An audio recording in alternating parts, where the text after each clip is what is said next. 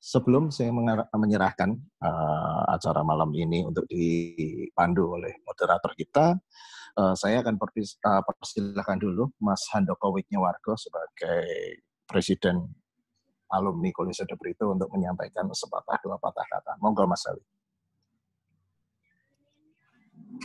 Di dulu Mas Ali.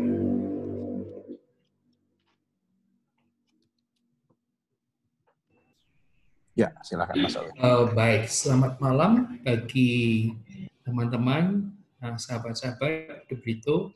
Uh, senang sekali malam hari ini bisa uh, ikut hadir di sini, meskipun saya tidak bisa ikut penuh karena nanti setelah ini kami ada meeting untuk Satgas COVID. Nah, tapi senang sekali dan ini topiknya menarik sebetulnya tentang matematika. Saya mau cerita sedikit boleh ya sebelum dimulai sambil menunggu yang baru masuk. Jadi kalau saya bikin acara ya biasanya saya suka memulai acara itu dengan adanya quiz ya.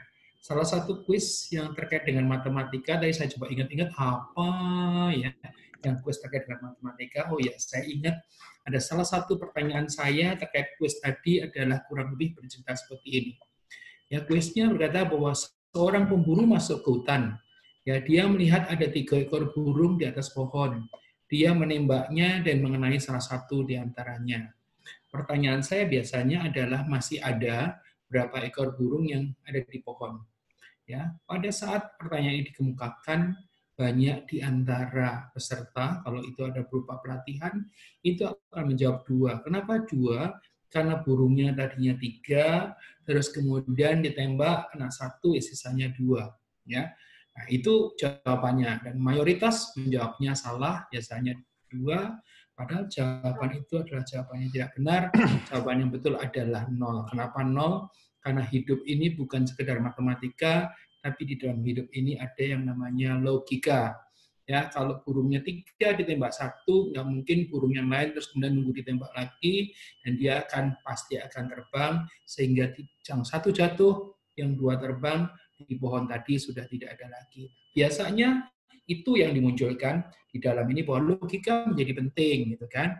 Nah, tapi hari ini saya harus mengatakan sebaliknya adalah oke, okay, suatu hari kita harus punya logika, tapi kita tidak bisa matematika juga akhirnya tidak bisa berlogika. Oleh karena itu baik logika dan matematika menjadi sama pentingnya. Ya, nah saya senang saya menyambut sangat baik uh, inisiasi untuk hari ini bikin program tentang uh, bagaimana belajar matematika. Karena apa? Pada saat kita bisa belajar matematika, nanti berikutnya langkah yang dibutuhkan selanjutnya adalah bagaimana yang kita belajar ini bisa dipakai buat logika dan kemudian bisa dipakai dalam kehidupan kita sehari-hari. Yang kelihatannya sekarang masih belum dibutuhkan, yang kelihatannya apa sih kenapa kita mesti belajar seperti ini? Ini kadang-kadang baru kita dapatkan setelah kita melewati perjalanan hidup yang lebih jauh. Dari saya mungkin hanya itu. Terima kasih sudah hadir, sudah ada 32 dan saya dengar sekitar 50 yang akan hadir.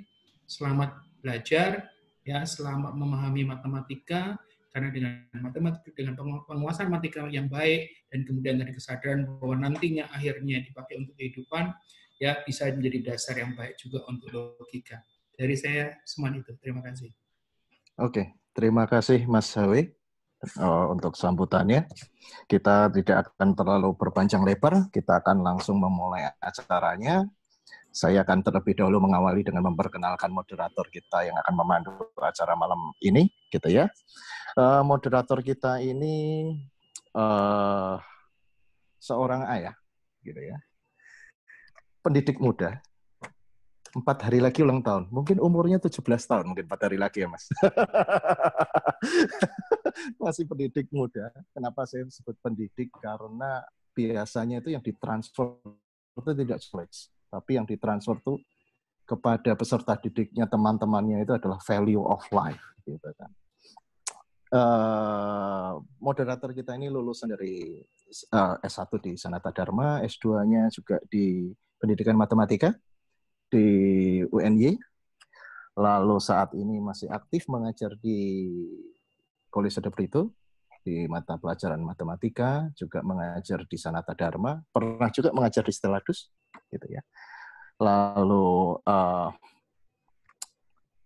sangat punya passion, sangat punya calling yang kuat untuk mendidik uh, generasi muda Indonesia, seorang juga penulis yang sangat produktif. Ini salah satu mana ini? Mana buku? Oh, nggak tampak nih. Ada bukunya. Ini ada ada di tempat saya. Banyak banyak menelurkan buku-buku baru gitu ya tentang pendidikan, tentang seri-seri tentang matematika begitu. Uh, lalu uh, selain itu juga aktif di rumah matematika gitu. Mari kita sambut uh, moderator kita malam ini Mas Herman Yosef Srianto atau yang lebih kita kenal dengan Mas Joyo. Monggo Mas Joyo dipandu acaranya malam ini. Masih di mute Mas. Monggo. Terima kasih Mas Yosef. Selamat malam teman-teman sekalian. Sehat semuanya. Ya. Sehat, Pak. Terima kasih sudah bergabung. Selamat bertemu di program Alumni Berbagi. Pada kesempatan kali ini kita akan berbincang mengenai matematika, sesuatu yang mungkin bagi banyak orang tidak enak dibicarakan, tetapi malam ini kita nekat mau ngomong, ngobrolin soal matematika. Nah, eh, tema kita malam ini adalah makrab. Idenya dari Mas HBU itu, makrab. Mungkin ini sesuatu yang sangat akrab juga di Debrito itu kan waktu kelas 10 itu ada program makrab. Nah, kalau malam ini makrab itu adalah matematika keakraban. Mengapa makrab? Ya biar kita menjadi lebih akrab dengan matematika. Nah, kalau kita kenal, kita akrab, maka kita akan lebih mencintai matematika. Harapannya sih sebenarnya malam ini ada banyak siswa dari De Brito dan juga dari sekolah lain yang bisa bergabung, sehingga eh, matematika yang dikenal sangat menakutkan bagi sebagian besar siswa ini dengan acara bincang malam ini harapannya kita bisa menjadi atau banyak teman menjadi lebih terbuka bahwa matematika itu ada gunanya juga. ya, teman-teman, eh, dalam banyak kesempatan banyak orang bertanya-tanya pada saya gitu ya sebagai guru matematika atau di kelas di kelas saja misalkan ketika mengajarkan turunan atau mengajarkan integral, Pak itu materi integral itu kira-kira gunanya untuk apa dalam kehidupan sehari-hari gitu kan. Uh, bahkan kemarin beberapa waktu yang lalu ketika saya mengupload uh, video pembelajaran di YouTube di channel saya uh, dan saya share di Facebook pun komentar yang muncul berkait dengan itu gunanya apa pak penerapan dari integral itu untuk kehidupan sehari-hari apa gitu ini sebenarnya pertanyaan-pertanyaan ini eh, selama 20 tahun mengajar ini pasti selalu muncul gitu. Ada beberapa jawaban, jawaban yang selalu saya berikan ada eh, beberapa. Yang pertama kalau secara berkelakar begitu, dengan Anda belajar matematika sebenarnya itu adalah syarat bagi Anda untuk lulus dari Debrito. Karena kalau Anda tidak mengambil mata pelajaran matematika yang dipersyaratkan oleh uh, Kementerian Pendidikan ya, maka tidak bisa lulus itu ya. Jadi matematika untuk apa? Biar kamu bisa lulus dari itu. itu secara berkelakar gitu ya. Uh, secara agak lebih serius uh, kalau di teman-teman kelasnya Bagja dan teman-teman itu saya mengatakan ya biar kamu mikir gitu kan. Mengapa? Mikir karena sebenarnya ketika kita belajar tentang matematika itu ya intinya kita diajak berpikir untuk uh, berpikir secara analitis, logis, kemudian kritis dan juga sistematis. Kemampuan-kemampuan berpikir yang sebenarnya sangat dibutuhkan dalam kehidupan sehari-hari kita untuk mengatasi persoalan-persoalan kita. Agar kita bisa mengatasi persoalan, agar persoalan tidak mengatasi kita atau menggulung kita, gitu ya, maka harus berpikir. Nah, lebih jauh ketika mau ditanya soal yang eh, penerapan yang lebih kompleks, tentu tidak mudah untuk menjelaskan itu. Maka sering kali saya eh, mengambil jarak dengan ini. Oleh karena itu, pada kesempatan malam ini eh, hadir para alumni di sini yang akan membagikan pengalaman bertemu dengan matematika dan bagaimana matematika itu digunakan dalam kehidupan sehari-hari itu tampaknya akan membantu saya menjelaskan pada teman-teman di The Brito sebenarnya gitu ya. Nah, pada kesempatan kali ini kita menghadirkan dua teman muda kita. Yang pertama eh, Pius Akiko Putra dan yang kedua Samuel Sitorus. Nah, mereka berdua adalah alumni De Brito tahun 2018. Kalau Kiko sekarang sedang studi di Fisika FIPA UGM, sementara Samuel sedang studi di Ilmu Ekonomi FEB UGM juga. Nah, harapannya dua teman muda ini bisa menjembatani eh, bagaimana sih matematika yang di SMA itu kemudian dipelajari di perguruan tinggi. Sehingga eh, teman-teman uh, yang muda-muda di De Brito ini juga menjadi paham bahwa meskipun tidak secara langsung apa uh, bertemu dengan dengan matematika atau masuk di fakultas matematika atau jurusan matematika, tetapi ternyata di ilmu ekonomi pun akan ketemu dengan matematika. Nah, semacam itu harapannya ini akan membantu membuka wawasan teman-teman muda kita. Tentu nanti di antara kita ada banyak teman-teman yang sudah eh, bergerak di bidang teknik dan lain sebagainya. Nanti di akhir eh, saya berharap Mas Tony Pongoh yang punya banyak pengalaman bagaimana matematika ini diterapkan dalam eh, bidang teknologi dan juga bisnis ini juga bisa memberi gambaran bagaimana matematika itu sungguh berperan dalam kehidupan manusia. Nah, itu sedikit pengantar dari saya.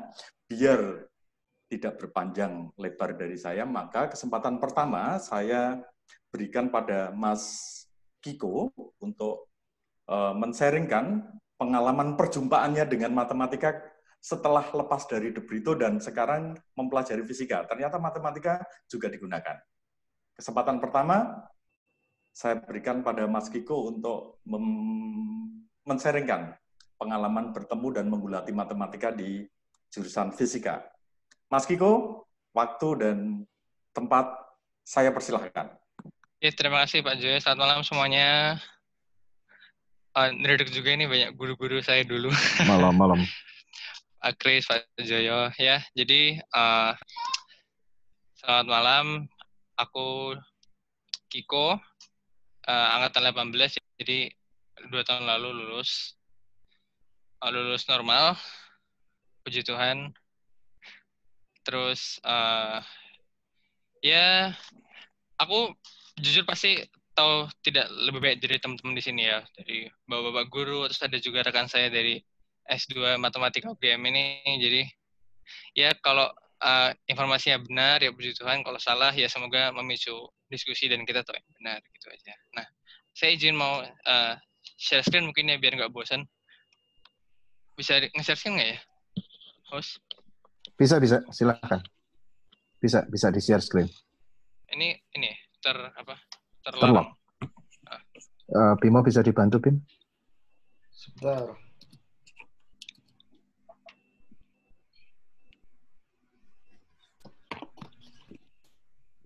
Oh, host.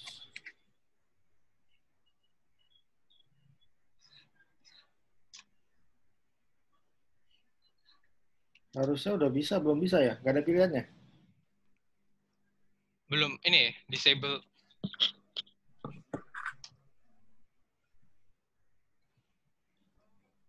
Host disable participant screen sharing.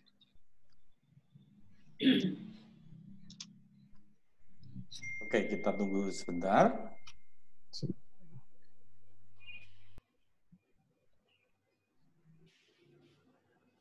Sudah bisa sekarang? Uh, ah udah bisa sip. Sip ya, oke. Okay. uh, mungkin karena tadi ini saya coba share ini dulu ya. Jadi uh, eh sorry salah. Oh, ini apa? Ini meme. Nah ini ini deh ini kita lihat ya. Yes. Ah, ini kelihatan ya? Jadi ini memberikan gambaran karena saya orang fisika jadi ya relevan kalau kita bicara fisika. Jadi fisika dan ilmu teknik yang lain itu uh, seperti kuda Trojan ini. Jadi mungkin banyak cerita yang tanpa matematika, tapi kalau kita belajar uh, pasti pasti bakal ketemu matematika mau nggak mau karena itu satu-satunya cara yang paling mudah untuk uh, mendeskripsikan uh, alam ini kayak gimana gitu. Nah jadi aku mungkin mulai cerita dari ini ya. Sebentar, aku udah bikin uh, mana PDF. Uh, jadi sebenarnya aku mungkin historis saja ya karena uh, ya biar diawali pelan-pelan. Nanti mungkin karena aku orang MIPA juga, jadi jelas hubungannya jelas gitu loh, ngapain dijelasin hubungannya. Jadi mungkin nanti Mas Sam akan lebih menarik lagi ceritanya. Jadi ya dimulai dari yang bosan-bosan sedikit dulu. Jadi orangnya banyak dan mungkin terpisah tapi karena aku orang fisika kita mulai dari yang hmm, relevan lah. Namanya oh, harusnya bukan Archimedes, namanya Aristotle. Ini Aristotle. Jadi dia mulai memikirkan tentang alam. Dulu alam bagi dia itu kayak avatar. Kalau teman-teman milenial ini tahu, jadi dia mengkategorikan alam sebagai kayak ada empat elemen, ada tanah, air, api, terus apa sih? Udara. Nah, terus nanti dia mencoba membuat hukum-hukum alam dari situ gitu. Nah, era selanjutnya Galileo. Dia mulai bereksperimen pada akhirnya gitu. Jadi uh, sains itu punya landasan yang lebih kuat lagi eksperimen. Jadi argumen apa itu harus bisa dibuktikan, harus bisa diulangi terus dan sebagainya dan sebagainya. Nah, lalu ini uh, kalau teman-teman tahu, kalau bapak-bapak dan teman-teman tahu, bapak-bapak, maaf saya grogi ya Newton disebut fisika modern. Jadi Newton ini penting sekali, vital. Kenapa? Karena Newton ini titik titik balik gimana kejadian alam dan matematika itu akhirnya uh, saling membangun. Kita bisa mendefinisikan alam dengan jelas dengan bantuan matematika. Nah, ceritanya menarik. Jadi dulu di zaman Newton itu belum ada kalkulus. Tapi dia nggak dia butuh kalkulus untuk mendeskripsikan gerak uh, gerak dengan selang waktu yang kecil, terus misalnya kalau teman-teman yang belajar kecepatan sesaat, bla bla bla itu itu itu butuh kalkulus. Nah, tapi dulu belum ada. Jadi satu-satu pilihan oleh Newton itu bikin ya udah. Jadi akhirnya dia harus bikin matematika sendiri untuk membantu teorinya sendiri. Nah, waktu itu ada juga yang, yang mengembangkan kalkulus. Beda orangnya, tapi konsepnya sama namanya Leibniz kalau dan ini kalau mau diceritain ceritanya panjang, menarik juga apa salah satu kontroversi yang panas di dunia akademik terutama uh, awal-awal sains modern itu ini. Jadi mereka di dua tempat yang berbeda, dulu belum ada internet kayak sekarang, jadi masing-masing kerja sendiri, tapi ternyata mereka punya konsep yang sama gitu. Jadi nanti saling mengklaim uh, siapa yang menciptakan apa gitu. Nah itu. Nah saya kasih satu contoh lagi. Ini namanya Dirac. Nah uh, kalau di bawah itu ada rumus tuh e kaki per d kuadrat. Itu menjelaskan uh, kalau muatan kan bis, uh, punya kekuatan, jadi tergantung jaraknya. Nah, sekarang kalau jaraknya nol, jadi kalau jarak jarak sesuatu dari muatan itu nol, d-nya nol, itu kan jadi tak tak hingga itu apa tak terdefinisikan oh, sesuatu dibagi nol ya kan. Nah tapi gimana ini kan fenomena fisis, masa ya matematikanya terus uh, tidak terdefinisi gitu. Nah akhirnya Dirac mau nggak mau membuat uh, entitas baru, membuat uh, objek matematika baru namanya delta Dirac. Definisinya yang di atas ini apa namanya? Definisinya sesuatu yang selain di nol nilainya nol. Kalau di nol nilainya tak hingga diintegrasi nilainya satu gitu. Nah dua contoh tadi uh, Newton dan Dirac itu aku pakai buat menjelaskan apa yang mau aku garis bawahi adalah jadi matematika ini berkembang karena kita sebenarnya punya kebutuhan. Ada sesuatu yang harus dijelaskan tapi kalau matematika belum siap, kita belum bisa menjelaskan itu. Jadi sebenarnya mereka itu berkembang, ada sih yang berkembang karena kebutuhan para matematika sendiri. Misalnya kayak uh, dasar logikanya bagaimana pembuktian itu uh, ya kalau tokoh-tokoh misalnya uh, Hilbert terus apa teorema ketidaklengkapan ah lupa pokoknya orang-orang matematika abstrak itu ada tapi ada juga matematika yang berkembang karena memang kita butuh gitu. Jadi pasti ada kebutuhan yang pasti ada kebutuhan yang sebenarnya dipenuhi oleh matematika. Cuma kalau ketemu apa enggaknya ya untung-untungan. Tapi nanti ke belakang terutama kalau kita bicara studi saintek pasti ketemu. Uh, ini ini masuk pasti ah. Kalau misalnya aplikasi ini kita bisa aplikasi aja biar biar mulai jelas lah. Ini klise sekali kayaknya. Di kelas pasti dijelaskan soal menghitung sesuatu yang melengkung. Karena hmm, kalau misalnya kotak-kotak kan misalnya gampangnya ini hitunglah luas atap ini gitu. Kalau kalau kotak-kotak kan gampang ya. Kalau rumah yang kotak itu ini kayak bisa gambar ya kalau rumah yang kotak atapnya itu kan gampang ya. Ini kotak panjang kayak lebar itu kotak panjang kayak lebar selesai gitu ya. Tapi dengan kalkulus dengan jumlah yang kecil-kecil itu kita bisa menghitung luasnya ini berapa. Nanti itu uh, mungkin soal cost, mungkin soal uh, ketersediaan bahan dan sebagainya, atau mungkin nanti bisa buat ini kalau ini kita pasangi apa panel surya seperti apa apa efeknya nanti dan sebagainya gitu. Ini Nah, ini salah satunya. Terus lanjut. Nah, ini salah satu yang kutemui karena ya pesan sponsor ya.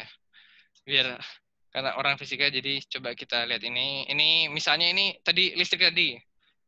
Kalau misalnya uh, kita mau tahu ini ada integral di sini ya. Jadi ini tuh ceritanya gini. Misalnya kita punya uh, dulu kalau dulu gaya listrik itu kan misalnya muatannya sekian, muatannya sekian kita kaliin, kita bagi jaraknya gitu. Nah, gimana kalau muatannya ada punya bentuk? Bentuknya silinder, bentuknya lingkaran, bentuknya kerucut, bentuknya dan sebagainya gitu. Gimana cara kita ngitungnya? Nah, kita bisa membagi kita bisa kayak membagi uh, benda itu jadi muatan kecil-kecil deki ini terus setiap nya kita hitung uh, medan listriknya, terus kita integralin. Jadi kita tambahin kecil-kecil gitu. Nah, jadi ini kalau di fisika, kalau di misalnya hmm, banyak, pasti ketemu. Karena kita mencoba itu tadi kita tidak selalu berurusan dengan hal yang kotak. Jadi integral adalah cara buat menjumlahkan sesuatu yang tidak kotak-kotak gitu, yang melengkung aku aku ambil random aja. Jadi ini aplikasi yang lain misalnya fluid. Fluida ini uh, elastisitas dari fluida. Jadi fluida itu apakah bisa dimanfaatkan apa enggak? Dia rasionya seperti apa? Nah itu kita lihat ada DD itu itu uh, itu derivatif. Jadi aku pindah dari MIPA ke teknik aku ketemu lagi nih. Ternyata kita harus mendiskusikan berbagai sifat bahan. Jadi E ini sifat bahan kan uh, seberapa uh, mudahnya bahan untuk kita mampatkan, untuk kita rongga, apa longgarkan itu kita bisa hitung seperti ini. Jadi bagaimana menghitungnya? Kita menghitungnya dengan uh, nih change in unit pressure. Jadi perubahan dp setiap perubahan volume per unit volume gitu. Jadi sekali lagi ketemu. Terus misalnya ini lagi nih. Jadi ini menarik. Aku pernah cari-cari waktu itu buat daftar salah satu tim mobil balap. Terus aku cari-cari. Jadi ada buku menjelaskan tentang eh, dinamika mobil. Jadi misalnya mobil itu slip apa enggaknya ya kan apa logikanya kalau terlalu kenceng terus kita paksa belok nanti slip atau kalau terlalu kenceng ternyata jalannya licin kita paksa rem nanti apa nggak ngerem juga apa rodanya slip nggak nggak kuat ngeremnya gitu nah di buku ini aku kaget juga ternyata matematikanya juga eh, apa ini aku baca aja kelas berat karena ini persamaan diferensial order 4 D D4 Y ini. Jadi ternyata maju sekali kita ini mendeskripsikan kalau roda kalau kita belok roda itu kan elastis. Jadi nanti rodanya nggak ikut belok sesuai dengan arah asnya gitu kan. Jadi kalau belok roda itu masih agak agak melenceng dikit gitu. Nah, seberapa seberapa dia melenceng itu ada sudutnya itu itu bisa dijelaskan dengan ini dengan E E itu elastisitas rodanya terus nanti eh, I itu momen inersia dari apa dari area roda tadi dan sebagainya. Jadi nanti akan menemukan matematika lagi. Dan dan menurutku ini kayak apa ya kalau kalau anak SMA belum bisa bikin robot, tapi teman-teman di universitas sudah biasa bikin robot, salah satu perbedaannya adalah karena di universitas matematikanya sudah cukup sudah cukup untuk bikin robot, sementara yang dipelajari di SMA belum. Tapi kita harus belajar dari dasar, jadi uh, memang kalau kalau di SMA sederhana ya aplikasinya masih dijelaskan dengan otak atik gato apa dicoba dicocok-cocokin mungkin benar juga. Tapi nanti ke belakangnya memang untuk menjadi kepake matematikanya memang harus cukup uh, kuat untuk bisa menjelaskan banyak hal seperti ini misalnya. Nah, terus aku cari-cari lagi. Ini di food science. Jadi ternyata matematika ini dipakai buat memodelkan ini pertumbuhan bakteri ceritanya. Jadi koloni bakteri itu dia punya jumlah awal, terus dia punya uh, apa sifat-sifat yang dijelaskan oleh misalnya uh, M M itu um, sesuatu yang menjelaskan misalnya bagaimana seberapa cepat dia seberapa cepat dia membelah, terus misalnya B itu apa. Nah, jadi bahkan teman-teman di food science di apa ini, mungkin teknologi pangan ya, itu akan terbantu dengan matematika ini. Jadi mereka bisa memprediksi pertumbuhan bakteri dalam makanan atau misalnya pertumbuhan bakteri yang diperlukan untuk mengkultur sesuatu, memfermentasi sesuatu. Ini lanjutannya tadi. Jadi bahkan untuk apa teknologi pangan aja kita bisa menemukan matematika juga di situ. Tentu saja teknologi pangan yang cukup uh, kompleks dan canggih sehingga kita butuh matematika yang cukup canggih juga. Nah, kemarin karena request ya, jadi uh, aku mau jelasin sedikit tentang model ini. Jadi ini satu contoh juga gimana matematika hmm, akhirnya di saat seperti ini justru banyak orang yang ingin kenal dengan matematika. Nah, ini kurva epidemik, tapi model yang paling sederhana yang ku cari itu SIR. Jadi S itu orang yang dapat terkena, I itu orang yang terkena, R itu orang yang sudah tidak terkena. Jadi di sini bahkan R punya definisi yang agak kejam, artinya entah yang sembuh entah yang meninggal semua masuk R. Jadi dengan model ini kita memprediksi bagaimana epidemi itu uh, berjalan dari waktu ke waktu. Caranya adalah kita mengelompokkan populasi jadi tiga, mereka yang bisa terkena, mereka yang sudah terkena, dan mereka yang uh, sembuh atau tidak berhasil sembuh. Nah, kemudian dari tiga kelompok itu kita bisa buat hubungan di antara mereka. Seperti apa hubungannya? Nah, ini. Jadi, uh, DSDT itu di atas ya. Jadi, DSDT. perubahan susceptible, perubahan populasi yang sudah eh, yang bisa terkena terhadap waktu itu ini min beta SI. Beta ini apa? Beta ini sesuatu yang kayak menunjukkan seberapa mudah uh, dia berkurang atau seberapa uh, cepat wabah ini saling menjalar gitu. Beta. Nah, terus misalnya gamma ini. Ya, ini DIDT ini nih. DIDT ini kalau diartiin berarti perubahan populasi yang kena terhadap waktu. Ini ini dipengaruhi dua faktor. Beta ini seberapa gampang kena dan gamma seberapa cepat orang sembuh. Nah, jadi ini bisa dilihat dari data ini berarti uh, perubahan jumlah yang sembuh terhadap waktu dipengaruhi oleh uh, faktor gamma ini. Nah, jadi ternyata dengan memodelkan seperti ini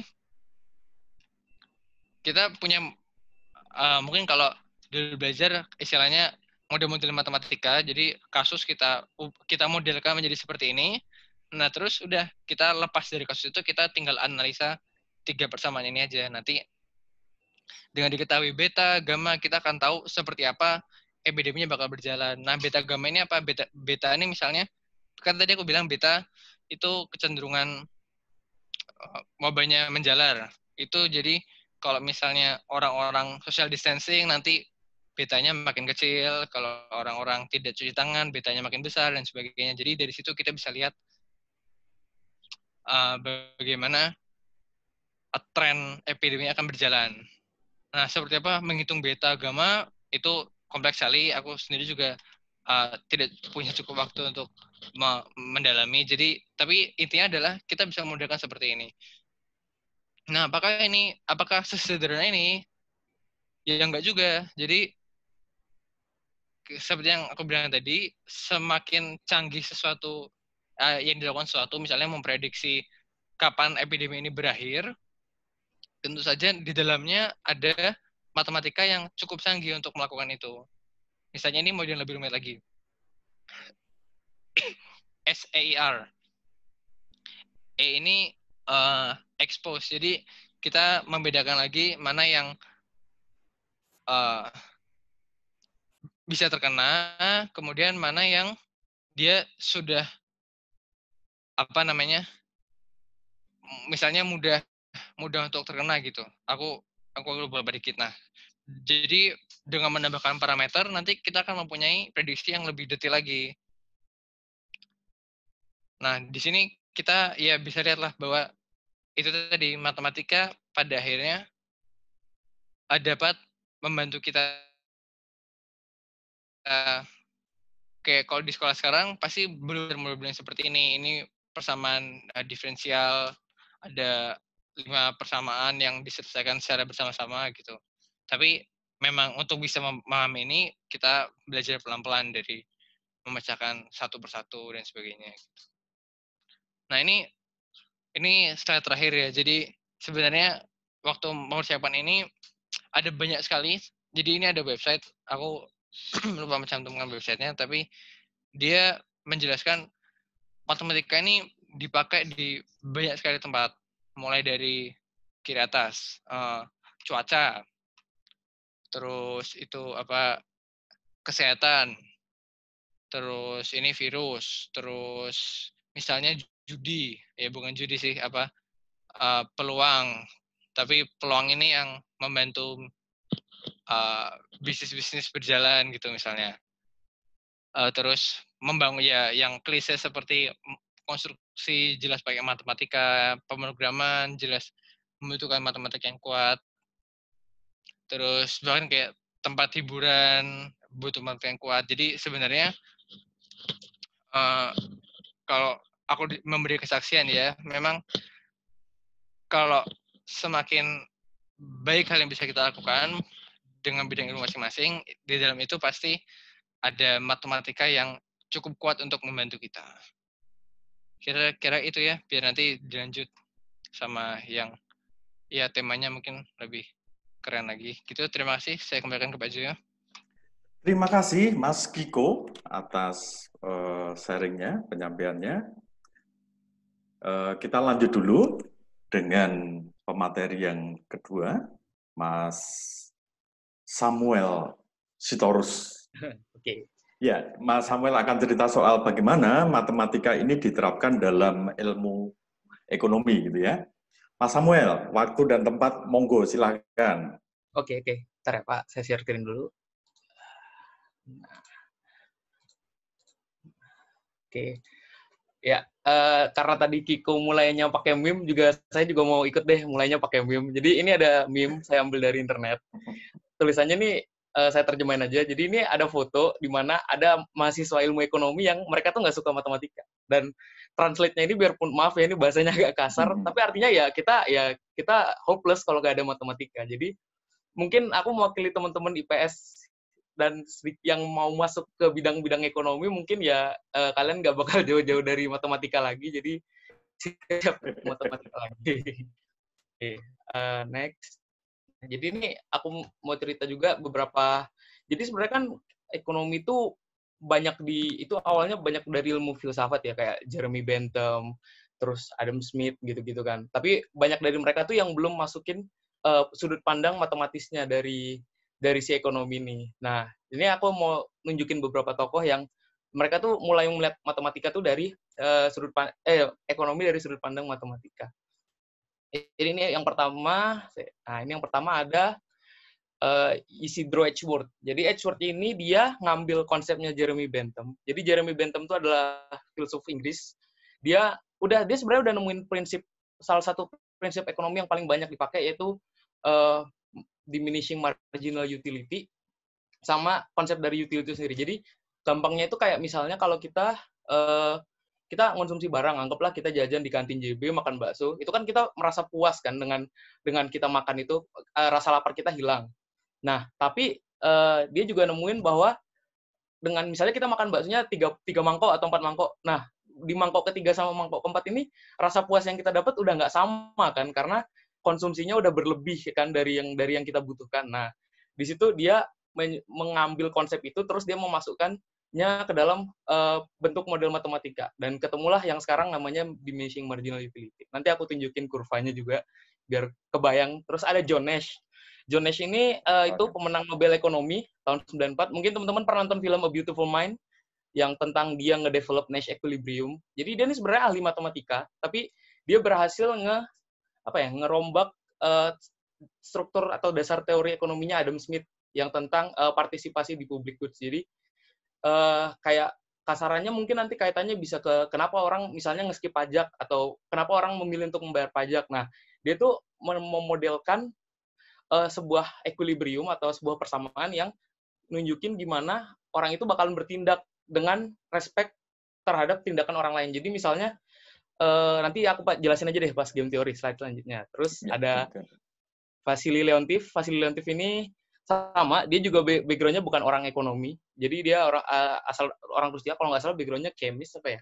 Dia nge-develop input-output model. Jadi input-output model ini buat apa sih? Buat ngelihat kalau misalnya terjadi sebuah perubahan di keadaan ekonomi yang menyebabkan input dari suatu barang, misalnya kayak oke okay lah pabrik, anggaplah pabrik makanan. Terus tiba-tiba somehow uh, supply dari uh, listrik turun. Jadi kan nggak bisa nggak bisa melakukan atau aktivitas ekonominya kan berubah. Nah dia bisa membuat dia membuat model yang buat ngitung impact perubahannya ini ke outputnya. Jadi dari input ke output. Nah, terus ini ada dua. Ini yang pertama Adam Smith. Jadi ini perbandingannya mungkin aku bisa bilang e, ekonomi yang sebelum sebelum yang sebelum yang belum modern sama yang modern ya. Jadi kalau teman-teman ingat di tahun 1929 di Amerika, Great Depression, itu uh, disebabkan karena pada saat itu uh, uh, kebanyakan ekonom tuh masih percaya sama yang namanya invisible hand. Jadi mereka percaya bahwa um, equilibrium atau perekonomian itu nanti dia kalaupun ada perubahan dia bakal bergerak sendiri ke equilibrium yang lama. Jadi kayak invisible makanya dibilang invisible hand karena kondisinya nanti akan lambat laun normal lagi. Nah ternyata di tahun 1929 yang terjadi lain kan, kondisinya nggak berbalik. Keluarlah John Maynard Keynes ini dengan konsepnya Keynesian Economics. di mana dia uh, mostly dia moneter sih. Jadi karena waktu itu uh, belum ada pemisahan yang jelas antara mikro sama makroekon, Keynes ini hadir dan dia memberikan konsep ekonomi makro bahwa dia ngeliat kalau pak sebuah negara itu nggak bisa dilihat dari sudut pandang rumah tangga yang kayak di mikroekonomi. Nah, dia menjelaskan itu dalam Keynesian Economics. Jadi, ya Adam Smith sama Keynes ini dua dua tokoh yang lumayan terkenal lah di ekonomi. Terus, nah lanjut ke mungkin langsung kita coba satu-satu ya menelaah. Ini ada beberapa konsep. Mungkin ini aku nggak langsung jelasin sampai habis, maksudnya sampai jelas kalian ngerti juga karena mungkin bakalan lama. Jadi yang pertama ini ada uh, uh, ini ada yang diperluin apa sih? Kenapa sih? Uh, ini kebanyakan juga teman-teman udah belajar di SMA nih. Ada konstruksi fungsi, gimana teman-teman ngebangun fungsi. Terus ada kalkulus diferensial, maksimisasi sama minimalisasi. Ada kalkulus integral, ada matriks sama persamaan kalkulus. Gunanya apa? Uh, kalau pertama nih profit maximization, teman-teman lihat kurva ini kan, mas-mas juga mungkin. Nah, misalnya teman-teman atau mas-mas mau jualan, anggaplah sumbu X ini adalah jumlah penjualan dan sumbu Y ini adalah revenue penjualannya. E, lambat laung, semakin banyak yang dijual, kan nanti otomatis profitnya bakal naik dong. Tapi mungkin nggak sih profitnya naik terus? Apa ada kemungkinan nggak sih profitnya bakal habis? Kalau kita ingat lagi kurva eh, law of supply and demand kan, kalau kalau supply yang melebihi demand-nya, pada akhirnya harganya akan turun kan, dan akhirnya penjual akan kehilangan profitnya kalau dia memproduksi banyak barang kan. Di situlah uh, matematikanya main di mana kita pakai uh, konsep yang diferensial. Jadi persamaan dari si apanya ini, si produsennya untuk menjual ini di, dimasukkan ke kalkulus diferensial, terus dicari dengan first order condition kayak di derivasi gitu. Nanti dari hasil derivasi bakal ketemu titik puncaknya ini. Nah, di sini inilah poin di mana si si penjual tuh harus maksimalin, oh saya harus jual barang sekian jumlahnya biar profitnya bisa maksimal di atas. Gitu. Terus konsep kedua mungkin yang bisa saya kenalin adalah resource optimizing. Ini saya next dulu. Nah, ini ini ada contoh soal ujian saya tahun lalu pas mat, ambil matematika ekonomi 2. Jadi resource optimizing ini adalah misalnya kita mau memproduksi sebuah barang. Tentu kan bahan bakunya nggak cuma satu kan, bisa dua, tiga, atau banyak. Nah, di sini persamaan yang di-highlight adalah gimana caranya kita meng memaksimalkan jumlah yang kita produksi given the constraint sama cost dari produksinya. Jadi misalnya kayak aku mau produksi roti, pasti perlu tepung, perlu gula, perlu mentega, perlu telur. Nah, setiap barang itu punya harganya masing-masing kan, dan kalau dikumpulin itu harus sama dengan jumlah modal awal yang kita pakai buat produksi. Nah, di situlah uh, si Lagrang ini bermain. Ini nama ini pakai namanya pakai Lagrangnya konsepnya Lagrang. Jadi kita masukin uh, ini lambda ini, lambda ini adalah constraint constraint dari Lagrangnya untuk ngelihat uh, kombinasi bahan baku yang mana. Kan apa oh ya satu lagi. Kalau kita mau bikin roti kan biasanya perlu resep kan dan resepnya itu ada proporsi kan.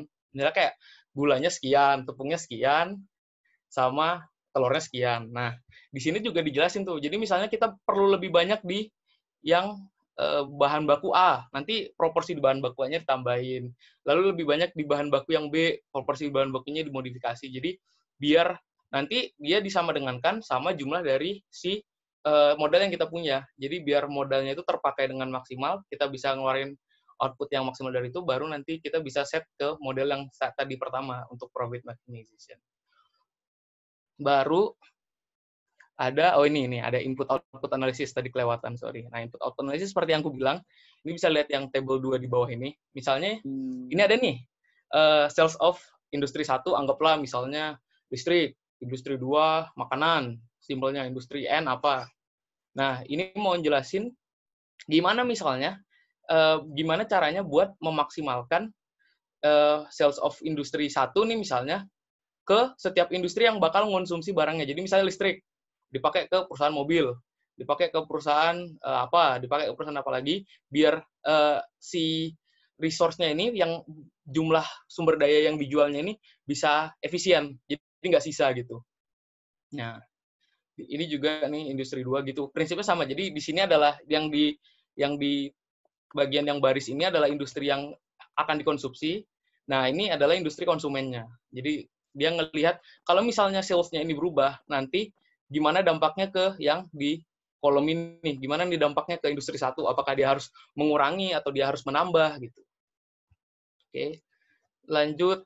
Nah ini ada game teori. Game teori ini mungkin penjelasannya bakal mungkin paling simpel kali ya, karena juga konsepnya agak gak, gak terlalu ribet. Jadi game teori ini adalah uh, sebuah uh, teori yang melihat gimana kita mengambil keputusan, tapi kita melihat juga perspektif dari apa yang orang lain lakukan.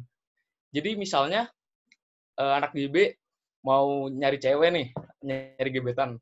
Anggaplah nyari gebetannya yang kaya, uh, cantik, pinter, semua yang bagus lah. Anggaplah cewek kayak gitu ada. Dan kita akhirnya memutuskan, oke, okay, uh, kita bakal deketin ceweknya nih. Tapi itu kita baru sebatas decision theory. Karena kita nggak ngelihat faktor apakah cewek ini bakal mau sama kita. Apakah kita punya nilai jual yang bisa kita ah, iya. kasih biar cewek ini mau sama kita. Ya kan? Nah, di sini makanya kita lihat di permodelannya. Ini ada dua nih. Ada, ini permodelannya itu adalah lampu merah.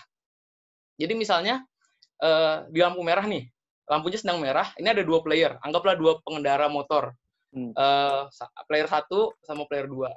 Ini ada ada outcome-nya ada oh, iya. ada juga apanya strategi. Kita bilangnya strategi ada stop sama go. Kalau misalnya dia kalau misalnya mereka berdua di lampu merah go ini bisa dilihat outcome-nya negatif minus 5 karena ada kemungkinan mereka buat nabrak kan.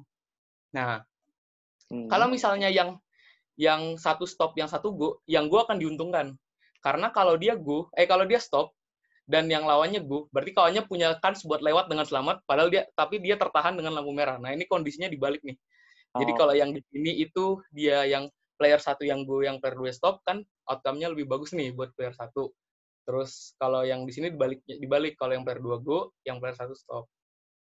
Nah kalau dua-duanya stop, dua-duanya memang dirugikan, tapi uh, kerugiannya nggak sebesar yang ini, yang dua-duanya go. Kenapa? Karena kalau mereka dua stop, ya mungkin mereka kehilangan waktu di lampu merah, tapi mereka bisa selamat dari kecelakaan. Mereka bisa mengurangi kans mereka buat kecelakaan. Nah, game teori ini menarik menarik. Aku juga sebenarnya baru tahu setelah kuliah di di ilmu ekonomi. Jadi uh, banyak banget dipakai buat perumusan kebijakan. Jadi kalau misalnya teman-teman mau ngelihat uh, oh ini kita kalau misalnya kita kasih ini dampaknya gimana nih? Nah salah satu caranya itu bisa dengan eksperimen dan game teori ini. Jadi nanti dari eksperimen dilihat hasilnya kan outcome-nya gimana baru dirumuskan dalam format matrix gini terus ada cost benefit analysis. Cost benefit analysis ini sebenarnya uh, konsepnya sama juga. Jadi kita ngitung kalau dalam melakukan sesuatu cost sama benefitnya itu lebih besar mana.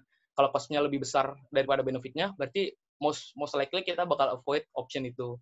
Dan uh, kalau misalnya benefitnya lebih besar, kita uh, bakal ngambil opsi itu.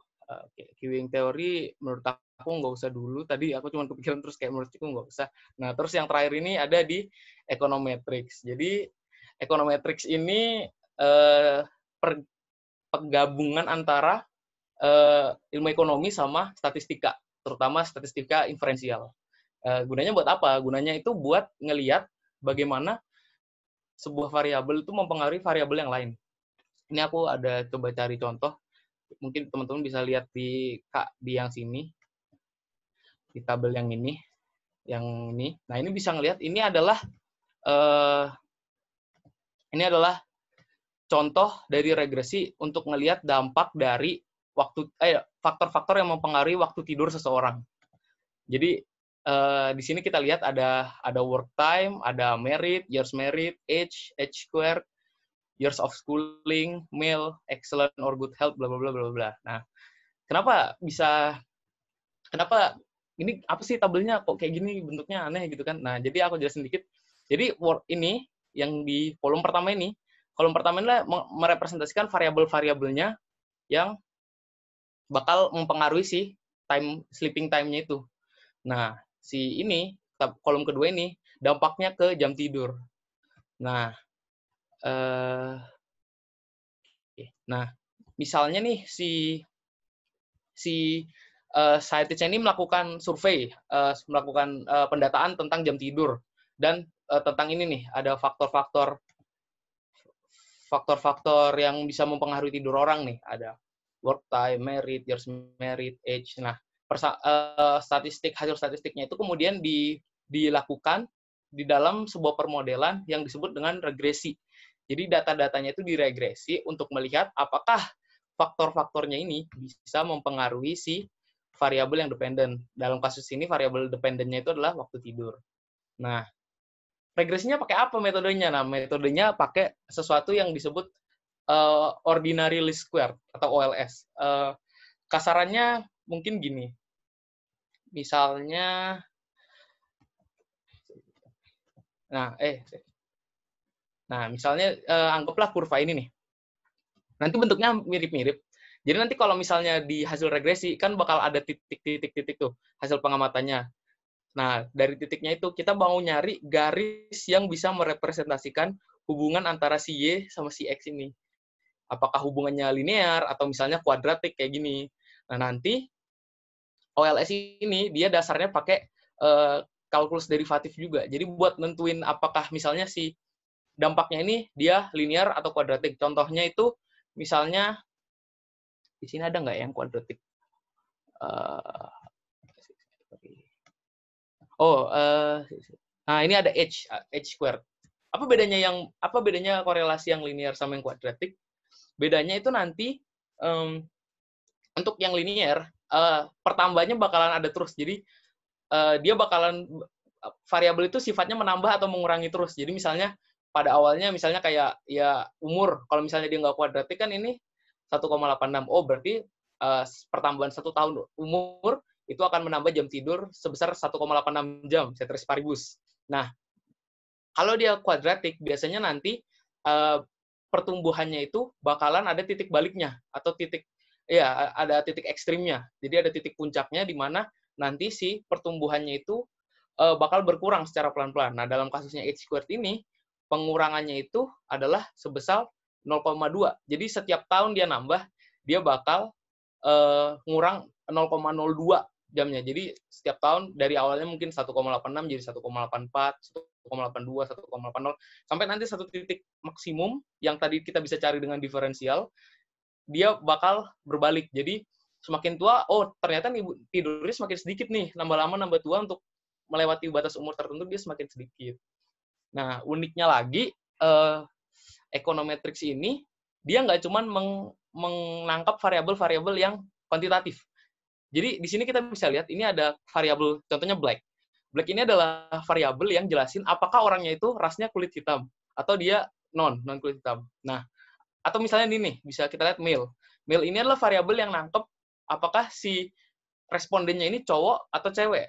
Nah, kalau dia cowok, berarti dia ada ketambahan segini nih, ada perbedaan segini di waktu tidurnya.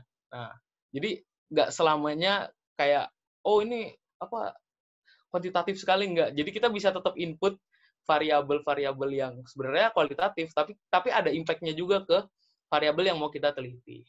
Uh, kemungkinan dari saya sepertinya itu dulu untuk sharing-sharingnya.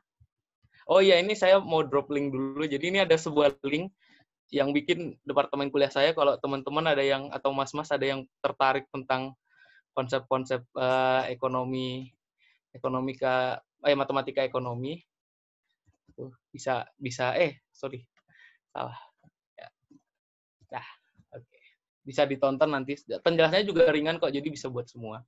Tapi mungkin kalau dari saya cerita-ceritanya segitu dulu. Saya kembalikan lagi ke Pak Joyo Baik, terima kasih Mas Samuel Sitorus. Wah, keren sekali ya. Pak Sukris masih mengikuti.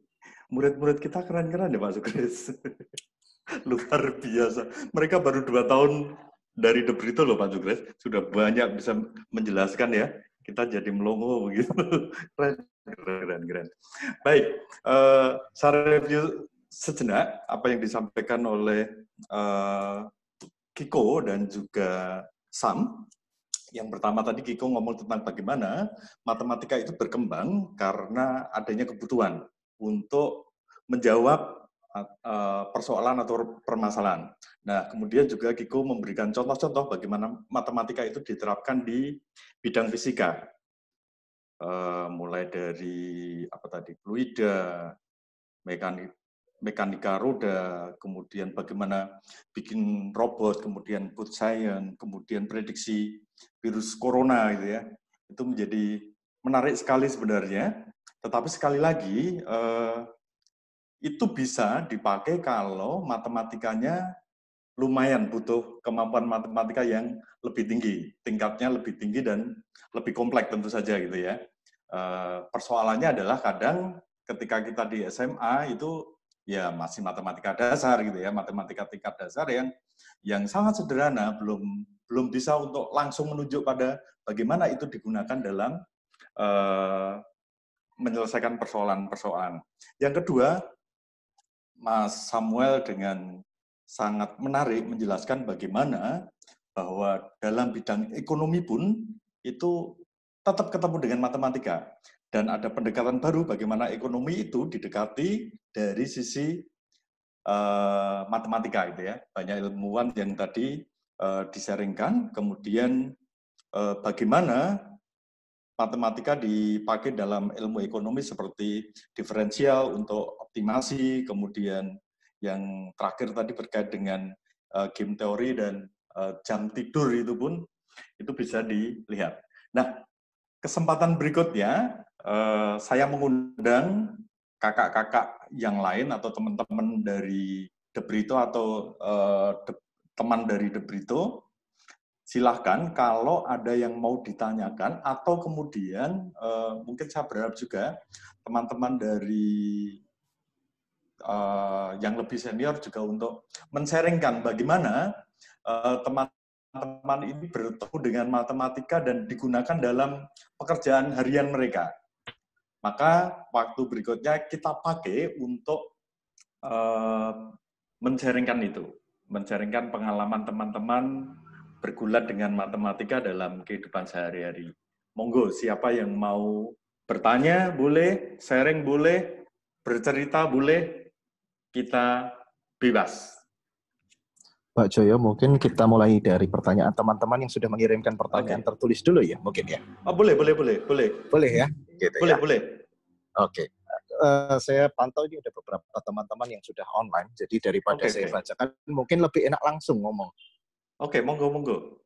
Boleh. Ada Mas Gorgom, saya lihat ada sudah online. Silakan Mas Gorgom, di mic-nya dibuka, silakan disampaikan. Ini pertanyaannya menarik nih Mas Gorgom. Monggo Mas Gorgom. Ya, halo. Assalamualaikum. Waalaikumsalam, Mas. Sugeng dalu, Mas. Monggo. Waalaikumsalam, Pak Ustadz. Ya. uh, saya kan tahunya matematika kan ilmu pasti, uh, sedangkan sosial itu kan ilmu yang tidak pasti itu loh.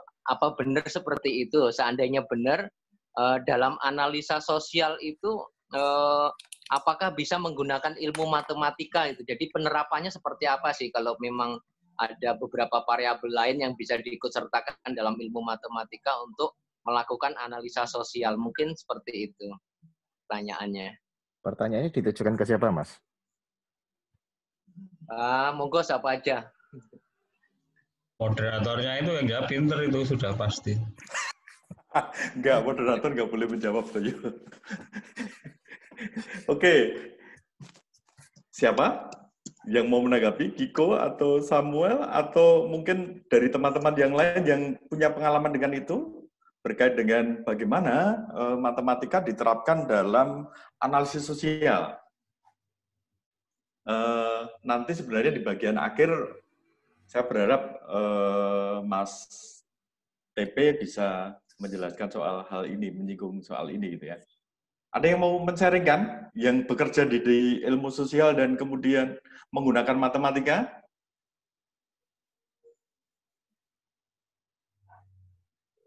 Ada? Monggo. Daripada saya jawab loh. Uh, saya bantu jawab mungkin ya Pak ya. Oke, silakan, silakan. Jadi, kalau sejauh yang saya tahu dalam sosial itu bisa dua analisisnya, bisa kualitatif, bisa kuantitatif. Nah, uh, matematika ini bermain pada saat kita mau ngelakuin analisis yang tadi, yang dasarnya adalah data. Jadi misalnya kita mau melihat, um, misalnya uh, salah satu paper yang pernah saya baca itu tentang, uh, jadi di Jawa Tengah, saya lupa daerahnya, ada penelitian yang jelasin efek eh, pemberian eh, obat obat zat besi, obat kayak obat anti anemia gitu ke kesejahteraan masyarakatnya. Nah, jadi sebenarnya kalau kalau matematikanya itu eh, bermain di situ sih. Jadi di data. Jadi kita lakukan treatment dari kita lakukan riset eh, dengan dengan dua kelompok treatment sama non treatment. Jadi yang dapat perlakuan sama yang enggak biar kita kelihatan bedanya. Baru nanti dari da- hasil data risetnya itu kita olah pakai statistika contohnya. Nah, eh, di situ juga bisa kita lihat karakteristik-karakteristik sosial yang mempengaruhi misalnya yang mungkin eh, nggak selama eh, mungkin sifatnya tuh nggak nggak yang nggak yang apa nggak nggak yang kuan- kuantitatif tapi kualitatif. Contohnya kayak tadi misalnya jenis kelaminnya atau misalnya rumah jarak misalnya rumah eh, kan di daerah yang dijadikan objek penelitian adalah daerah pegunungan. Nah bahkan eh, di situ tuh dijelaskan gimana jarak dari jadi semakin tinggi tempat tinggalnya itu pertambahan kesejahteraannya itu semakin kecil. Jadi semakin jauh dia dari itu dari apa sih bilangnya ya? jadi kayak semakin jauh jarak dia dari dari daratan jadi semakin tinggi dia tinggal itu nanti pertambahan ke kesejahteraan itu semakin kecil. Nah di sinilah kalau menurutku matematikanya bisa main. Jadi eh, dalam bentuk statistik tentunya. Jadi gimana kita bisa ngeliat eh, faktor-faktor kualitatif itu mempengaruhi sesuatu yang kuantitatif. Kalau dari aku gitu dulu mungkin. Oke, terima kasih Sam. Masih ada lagi yang mau menambahkan atau melanjutkan dengan pertanyaan monggo Mas Krishna. Gue, Yes, ngerti jenengku. luar biasa. Oke, nambahi untuk kualitatif dan kuantitatif. Saya hanya nambahi sedikit aja. Mungkin Mas Gorgom, yang musuhnya Baja Hitam ini sudah pernah ngisi kuesioner gitu ya. Oke, sangat puas.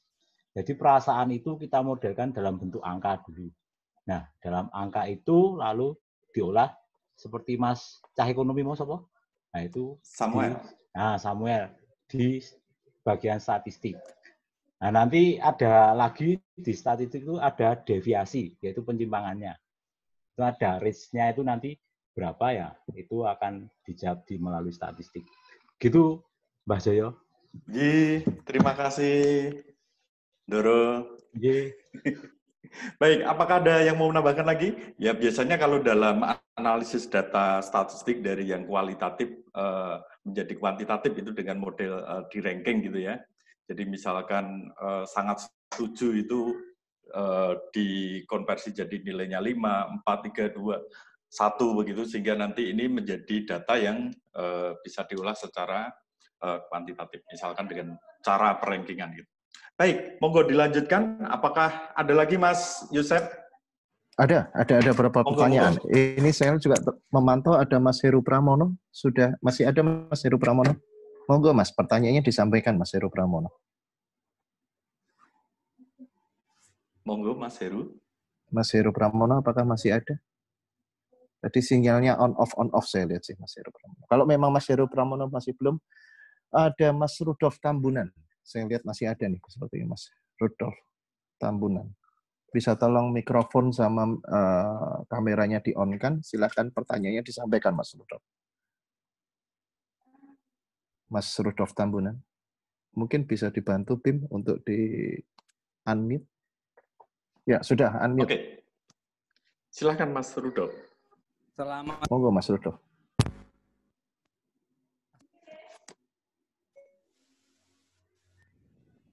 Waalaikumsalam.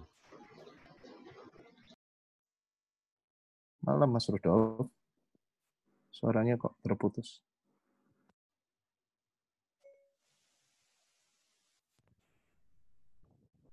Malam Mas Rudolf. Ya, suaranya belum terdengar ya. Belum ter belum Ya, tadi mungkin kalau saya bantu deh. Jadi Mas Rudolf Tambunan ini tertarik banget gitu ya dengan promis acaranya katanya yang menghitung masalah pandemi gitu ya. Tadi sebetulnya mungkin sebagian sudah sedikit dijelaskan oleh Mas Kiko gitu ya. Mungkin eh, Mas Rudolf kalau memang sudah sudah terhubung silahkan mungkin ada yang ditambahkan pertanyaannya lagi.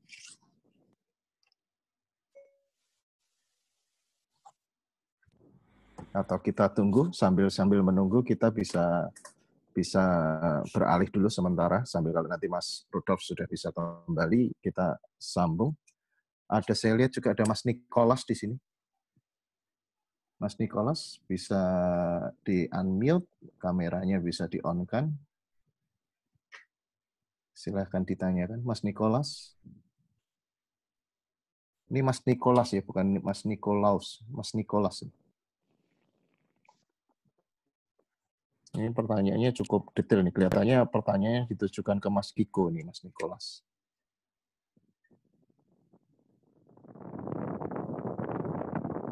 Mas Kiko, apakah monitor? Mas Kiko tadi mungkin daftar pertanyaannya sempat saya kirimkan, mungkin bisa sambil Iya. dijawab saja. Oh iya, Ah, tadi pertanyaannya adalah ini yang ini ya, yang SLC 4 tadi ya. Yes, betul. Ah, ini Mas Mas Nicholas sudah on. Monggo Mas Nicholas. Silakan. Silakan. Eh, selamat malam, Bapak, teman-teman semua. Eh, saya mau, ini kan eh, ketemu Mas Kiko itu sebuah apa ya penghargaan tersendiri untuk saya karena Mas Kiko itu apa namanya alumni yang terkenal pintar, kemudian sangat teladan gitu Pak.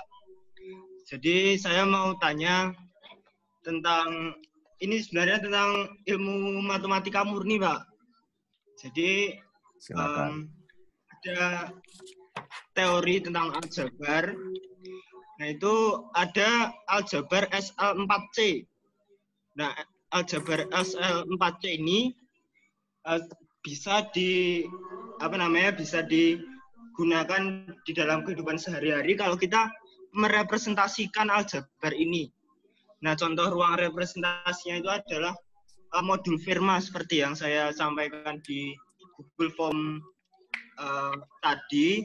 Nah, ini mau minta tolong gimana secara eksplisit representasi ini dibangun dari uh, aljabar SL4C ini ke modul Firma dari aljabar SL4C. Ini untuk Mas Kiko ya, Pak. Terima kasih. Oke, Eh, terima kasih banyak pertanyaannya. Jadi eh, sebenarnya bisa menjawab ini bukan saya, tapi Mas Valentino Rizal ini malah bisa menjawab sebenarnya. Masih udah ketawa-tawa. Jadi pertanyaan Gilang ini sangat teknis ya. Jadi coba mungkin aku mau share screen buat punya gambaran. Hmm, walaupun dia akan menjawab sebenarnya, tapi eh, share screen aja lah. Biar kita baca bareng-bareng.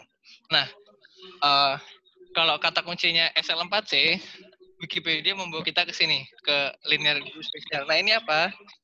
Ini tuh adalah eh, jadi selain matematika yang konkret tadi, yang kita bisa eh, persepsikan dengan sangat mudah, ada bentuk-bentuknya, kita bisa gambar, eh, maksudnya lebih nyata lagi. Ada yang lebih tidak nyata lagi, tapi lebih dasar. Misalnya ini, ini salah satu bagian dari teori grup. Jadi nanti kalau mempelajari matematika lebih dalam, kita bisa melihat bahwa kita bisa membangun struktur-struktur. Contohnya ini struktur aljabar, ada himpunan, terus kita mendefinisikan uh, penjumlahan di situ, nanti bagaimana strukturnya dan sebagainya gitu. Nah, ini yang aku bilang tadi matematika sebenarnya muncul karena kebutuhan dan ini butuh orang-orang teman-teman fisika terutama membutuhkan ini untuk menjelaskan berbagai teori terutama nanti kalau kita bicara ruang-ruang berdimensi n berdimensi lebih dari tiga dan sebagainya. Jadi yang abstrak gitu. Nah jadi ini satu contoh. Ada matematika yang memang uh, kehidupan sehari-harinya tidak dengan mudah ter uh, ter apa namanya ter terjelaskan gitulah ada yang memang sangat abstrak seperti ini. Ini mungkin cuman yang punya basic atau bisa matematika yang uh, mungkin bisa mendapat gambaran soal ini gitu. Sebenarnya kalau kita mau tahu kalau orang yang berkenan Mas Valentino tadi mungkin bisa membantu kita. Jadi beliau uh, maaf ya Mas uh, S2 matematika di UGM jadi mungkin lebih paham pertanyaannya Gilang saya sendiri masih belajar-belajar soal uh, struktur-struktur aljabar ini gitu. jadi itu aja Uh, gimana ya? Oke, terima kasih Mas Kiko. Eh, Mas Palintino? Rizali? Ya, Oh, iya. monggo Mas, sharing Mas. Apa yang disampaikan oleh Mas Nikolas tadi mungkin bisa membantu untuk memberikan pencerahan untuk kita semua. Gitu. ya. Ini matematika iya. tingkat tinggi ini. Oh enggak. Baik, selamat malam semuanya. Selamat malam. Eh, jujur eh, saya juga kalau yang ini bidangnya namanya algebraic topology. Eh, jujur saya pun juga baru nyemplung sih Pak, baru pas tesis ini nyemplung. Jadi eh, saya sebenarnya belum oh ya mu- mungkin ke ke pertanyaan tadi SL4C itu direpresentasikan ke apa? Mohon maaf. Yang Eh, firma modul firmanya dia. Nah itu maaf eh, kalau modul saya saya belajar tentang modul. Cuman kalau yang modul Velma itu hmm, saya belum belum tahu definisinya apa. Eh, jadi mohon maaf saya belum bisa jelasin. Mungkin nanti kalau eh, kita bisa kalau definisinya sudah ada mungkin saya bisa eh, bantu lebih jelasin. Mungkin nggak di forum ini ya mas. Nanti bisa kontak. Oh, Oke, Ya, terima saya juga kasih. baru nyemplung. Saya juga baru nyemplung di dulu saya eh, jadi saya dulu aljabar S1 sekarang digabung sama topologi ini baru bergabung jadi baru belajar juga Pak. Ya, ya. Terima kasih Mas. Ya. Sebenarnya topologi itu menarik ya, Mas Palindro ya, untuk jaringan, Oh iya, kemudian ya kan, iya Pak, eh, betul. transportasi semacam itu ya. Iya. Ya, luar biasa. Nah, next time kita diskusi Iya. tentang itu ya Mas ya. Penerapan eh, bagaimana matematika di khususnya topologi itu untuk jaringan, kemudian transportasi dan lain sebagainya itu ya. Iya. Oke, baik. Kita untuk sementara itu dulu ya, Mas Nikolas ya. Kita Iya. ini. Berikutnya, Ya, ada Mas Krisna? Aji.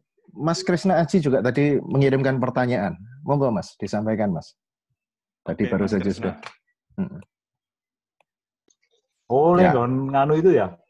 Saya Iya. pendaftaran. Yes, monggo. Oke. Saya sekedar share aja. Tahun Oke. berapa ya? Eh, saya ada yang apa itu pengenalan profesi di Debrito. Saya dengan Mas Bendol Admi. Terus satu lagi siapa ya? Pak siapa dari UGM. Nah, ketika teman-teman anak-anak Debrito itu tanya syarat untuk masuk teknik itu apa? Fisika, matematika, itu yang harus kuat. Nah, mereka itu pada ya cemennya ketok lah cak Debrito. Katanya tidak takut nih tuh cemen KB. Nah, itu bagaimana membuat matematika itu asik gitu. Padahal saya waktu di S2 itu ada mata kuliah itu metode optimasi. Oh, Nah, itu betul, betul. Nah, itu kembali lagi saya di kelas 1 SMA. Jadi saya harus X plus Y sama dengan berapa, terus ada lagi syarat yang kedua, persamaan kedua apa. Nah, itu kan ada nanti modelnya pakai substitusi atau eliminasi itu kan sebenarnya enak sekali gitu loh. Jadi intinya bagaimana teman-teman yang kaula muda itu lebih suka ke matematika gitu. Terima kasih Mas Yosep. Sip. Baik, terima kasih Mas Krisna. Ada yang mau menanggapi? Pak Sukres mungkin bagaimana membuat anak-anak murid ini suka dengan matematika? Ya, makasih Pak. Saya hanya sedikit saja. Kalau melihat apa yang diceritakan Keko dan juga eh, siapa tadi Samuel tadi kan ya hebat banget gitu ya. Ya. Tapi ya mereka kan lebih menyoroti lalu lalu bagaimana sih matematika itu sendiri eh, langsung menjadi tool gitu ya. Padahal melihat bagaimana matematika itu ada dalam keseharian kita, itu ya matematika bisa kita temukan dari yang paling sederhana saja. Jadi ada orang yang bermatematika, tapi juga ada orang yang eh, emang belajar matematika. Yang mereka yang kuliah itu jelas belajar, belajar aljabar, belajar ini itu lalu diterapkan dipakai. Padahal kalau yang dilakukan sehari-hari, seakan-akan orang tidak pakai matematika. Tapi kalau orang pintar lalu mengabstraksikan yang dia lakukan, sebenarnya dia bermatematika. Yang paling banyak menjual matematika itu kalau saya lihat mungkin model-modelnya Mas Koiknya itu, dia menyimpulkan berbagai macam eh, perilaku yang akan kalau dilakukan secara penuh bisa disimpulkan. Dan kan sebenarnya mengumpulkan constraint-constraint yang lalu menjadi ambil kesimpulan setelah digabungkan secara nalar gitu. ya. Yang sederhana saja. Misalnya kita punya pelambangan. Kalau sesuatu yang benar kita lambangkan plus. Kalau sesuatu yang salah kita lambangkan dengan min. Lalu kita mengaplikasikan dengan model perkalian. Lalu menyusun kalimat atau melakukan suatu pekerjaan. Membenarkan yang benar. Berarti kan plus kali plus. Benar kan? Kalau membenarkan yang salah, berarti plus kali min. Salah. Hasilnya kan min juga. Menyalahkan yang benar, ini juga salah. Min kali plus. Menyalah, eh, menyalahkan yang salah, benar. Min kali min. Simple saja. Pada saat itu orang sudah matematika. Tapi bukan yang sangat tinggi, apalagi kalau orang itu lalu concern dengan banyak hal, lalu eh, akhirnya bisa sampai ke teori-teori yang lebih baik. Saya kira matematika lalu tidak akan bisa lepas dari kehidupan, gitu ya. Maka saya selalu menceritakan pada anak-anak begitu itu belajar matematika itu seperti kalau kita mempelajari atau bertemu dengan gadis cantik yang punya harga diri. Ya kecantikan itu bisa kita miliki kita menekuni gitu. Kalau kita gadis cantik nggak punya harga diri ya gampang-gampang saja dikuasai. Tapi kalau gadis cantik yang punya harga diri, ya kita harus benar, kita deketin, kita harus mengerti, kita datengin, kita sergepin apel gitu, supaya dia ketemu kita, gitu. kita dapat gitu. Bukan yang dicedai Melayu, didoi nyedak, tahu-tahu bertelur. Nah, itu bukan gadis cantik yang punya harga diri. Itu saja Pak saya. Ya. Terima kasih Pak Sukres luar biasa. Itu Mas, asik kan? Kalau matematikanya dengan Pak Sukres asik gitu. Tambahan Oke. Oke, monggo Dulu monggo. Mas. saya sama Pak Sukres di kelas 3, saya kasih gitar ini nyanyi, terus saya diprotes sama Pak Tri Sumantoro. Jokon nyanyi wae Pak Sukres kae.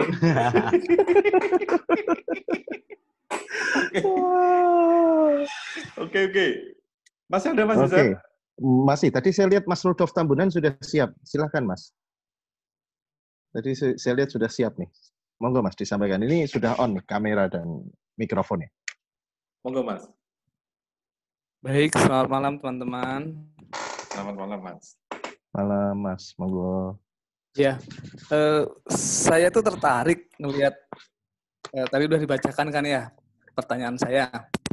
Eh, ada pendekatan matematika yang sebetulnya bisa digunakan gitu kan buat hitung kapan ke eh, pandemi ini ya mungkin bukan berakhir tapi kita bisa mulai eh, new normal itu dengan eh, waktu yang tertentu begitu.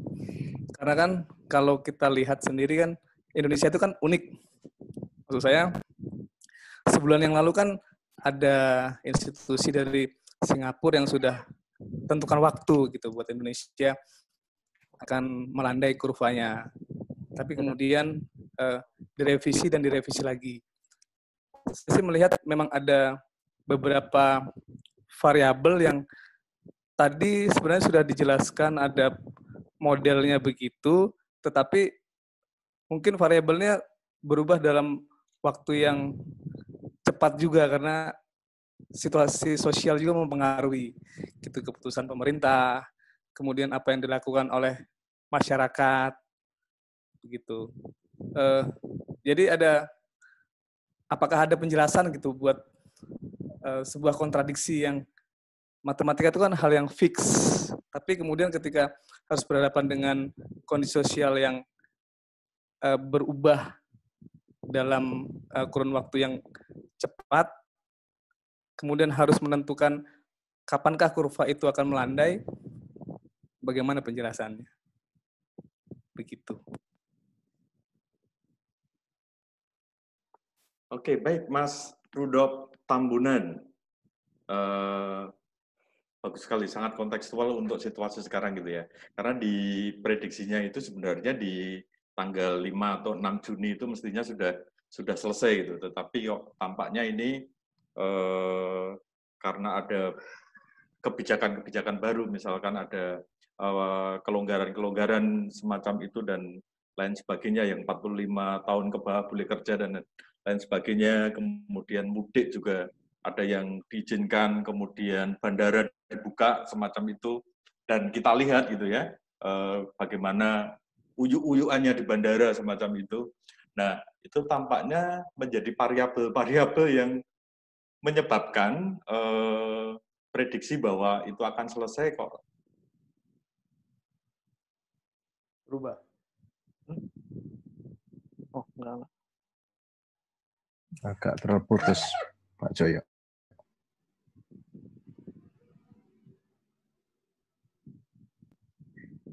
Sinyalnya agak terputus sepertinya, Pak Joyo. Eh, iya, putus.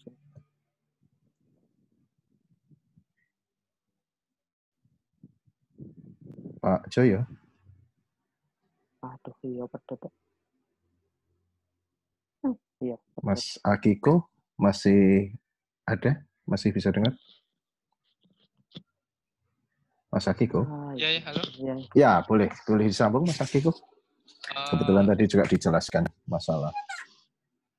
Iya, jadi Gitu. eh, sebenarnya kalau pertanyaannya kayak kapan, tentu saja eh, saya nggak punya kapasitas yang cukup untuk kayak memprediksi dan sebagainya. Karena tadi eh, walaupun saya menyinggung sedikit supaya kita punya gambaran aja bahwa kita bisa memodelkan ada parameter-parameter, ada kayak angka-angka kayak misalnya tadi kalau di yang saya tampilkan itu ada beta, ada gamma, ada angka-angka yang menunjukkan seberapa disiplin kita eh, melakukan pembatasan-pembatasan atau seberapa eh, misalnya laju perpindahan orang-orang dan sebagainya gitu. Jadi itu bisa kita prediksi dan ada itu kenapa beberapa model prediksi juga menghasilkan angka yang berbeda karena memang itu tadi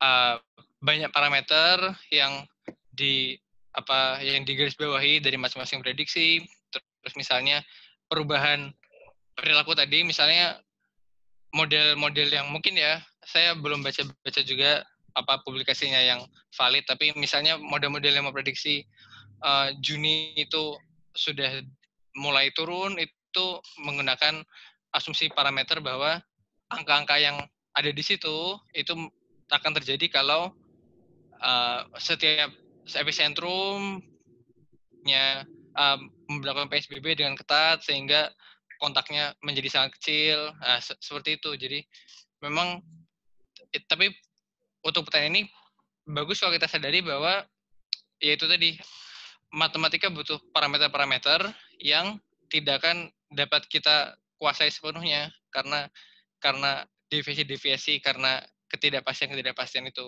Tapi kita hanya bisa punya gambaran kasar dan sudah ada tinggal menurut kita mana yang uh, lebih baik untuk kita jadikan rujukan atas apa yang mau kita lakukan ke depan gitu sih kalau menurut saya. Soalnya kalau kapannya juga kita semua masih bertanya-tanya, prediksi juga masih berbeda-beda dengan berbagai metodenya gitu. Gitu Mas. Oke, terima Mohon kasih Kiko. Mohon maaf tadi eh, saya terputus. Sebenarnya eh, salah satu yang digunakan itu pakai kurva normal itu ya. Jadi data yang kita punya tiap hari itu seperti apa gitu ya kecenderungannya itu dari awal itu seperti apa, kemudian naik, kemudian eh, sampai di paling atas gitu, kemudian paling tinggi paling banyak berapa, kemudian turun lagi. Nah harapannya kan itu kalau pakai analisis kurva normal itu kan akan turun terus semacam itu. Tetapi tampaknya eh, karena beberapa variabel tadi itu tidak dipenuhi atau beberapa eh, parameter tadi kemudian eh, terjadi apa misalkan eh, kerumunan yang lain sebagainya bandara dibuka dan lain sebagainya itu menjadi naik lagi kurvanya tidak tidak lagi mengikuti seharusnya normal tetapi ada kecenderungan yang baru lagi. Nah ini yang kemarin saya saya baca dari bagaimana eh, matematika bisa dipakai untuk eh, memprediksi seberapa lama eh, pandemi ini akan berakhir. Salah satunya ber- sebenarnya berdasarkan data harian itu ya. Eh, hari ini berapa, hari besok berapa, hari berikutnya berapa gitu, itu kita bisa lihat dari kurva normalnya. Itu yang salah satu mungkin yang bisa di, ditambahkan gitu ya. Oke, apakah masih ada? Sebetulnya masih ada dua pertanyaan, cuman saya tidak melihat Mas Yoga dan Mas Heru Pramono. Kalau memang seandainya mungkin pakai nama lain, nanti tolong resend gitu ya. Nanti mungkin bisa disambung. Mungkin ada teman-teman lain yang ada pertanyaan. Monggo Pak. Mungkin dari Oh, teman-teman yang ikut. Ya Jos. Pak Sukristiono mau resend. jauh dari universitas ya. Dan teman-teman di universitas itu kan biasanya orang-orang yang proaktif dengan atau berkaitan langsung dengan situasi masyarakat, situasi umum di luaran begitu yang reaktif dan juga lalu serius lalu bisa mengaplikasi mengusulkan sesuatu yang, baik bahkan kerjasama dengan Bapak dan sebagainya. Nah saat ini negeri kita ini kan eh, Indonesia Raya tadi ya, Jalan Raya ramai, Indonesia Raya kan ramai.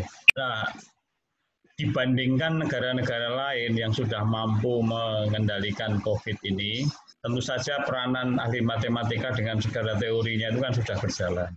Nah, apakah teman-teman di perguruan tinggi di universitas yang sekarang ini ada secara real itu juga ada itu eh, pemikiran-pemikiran yang mana dan lalu mencoba mengadopsi teori-teori mana yang cukup dekat untuk berani dipakai untuk menyimpulkan atau bahkan selama ini dipakai untuk memberi masukan kepada pemerintah untuk mengambil keputusan-keputusan. Apa yang populer sekarang dibicarakan di perguruan tinggi berkaitan dengan uh, COVID ini. Sebenarnya itu dekat dengan yang tadi Mas Rudolf atau siapa tanyakan tadi. Apakah uh, tidak bisa atau sudah ada hal-hal yang diserap dari pengalaman negara lain lalu akhirnya dipakai untuk dan diperbincangkan di perguruan tinggi menjadi yang paling populer. Itu saja Mas Yosef. Ya, monggo. Halo. Ya, dengan Oh, dari Mas teman-teman Mungkin Pak Tony lah tahu persis juga. ya. Oke. Dari teman-teman dari yang perguruan tinggi apakah ada yang mau menanggapi sebelum kita eh, serahkan pada Mas TP?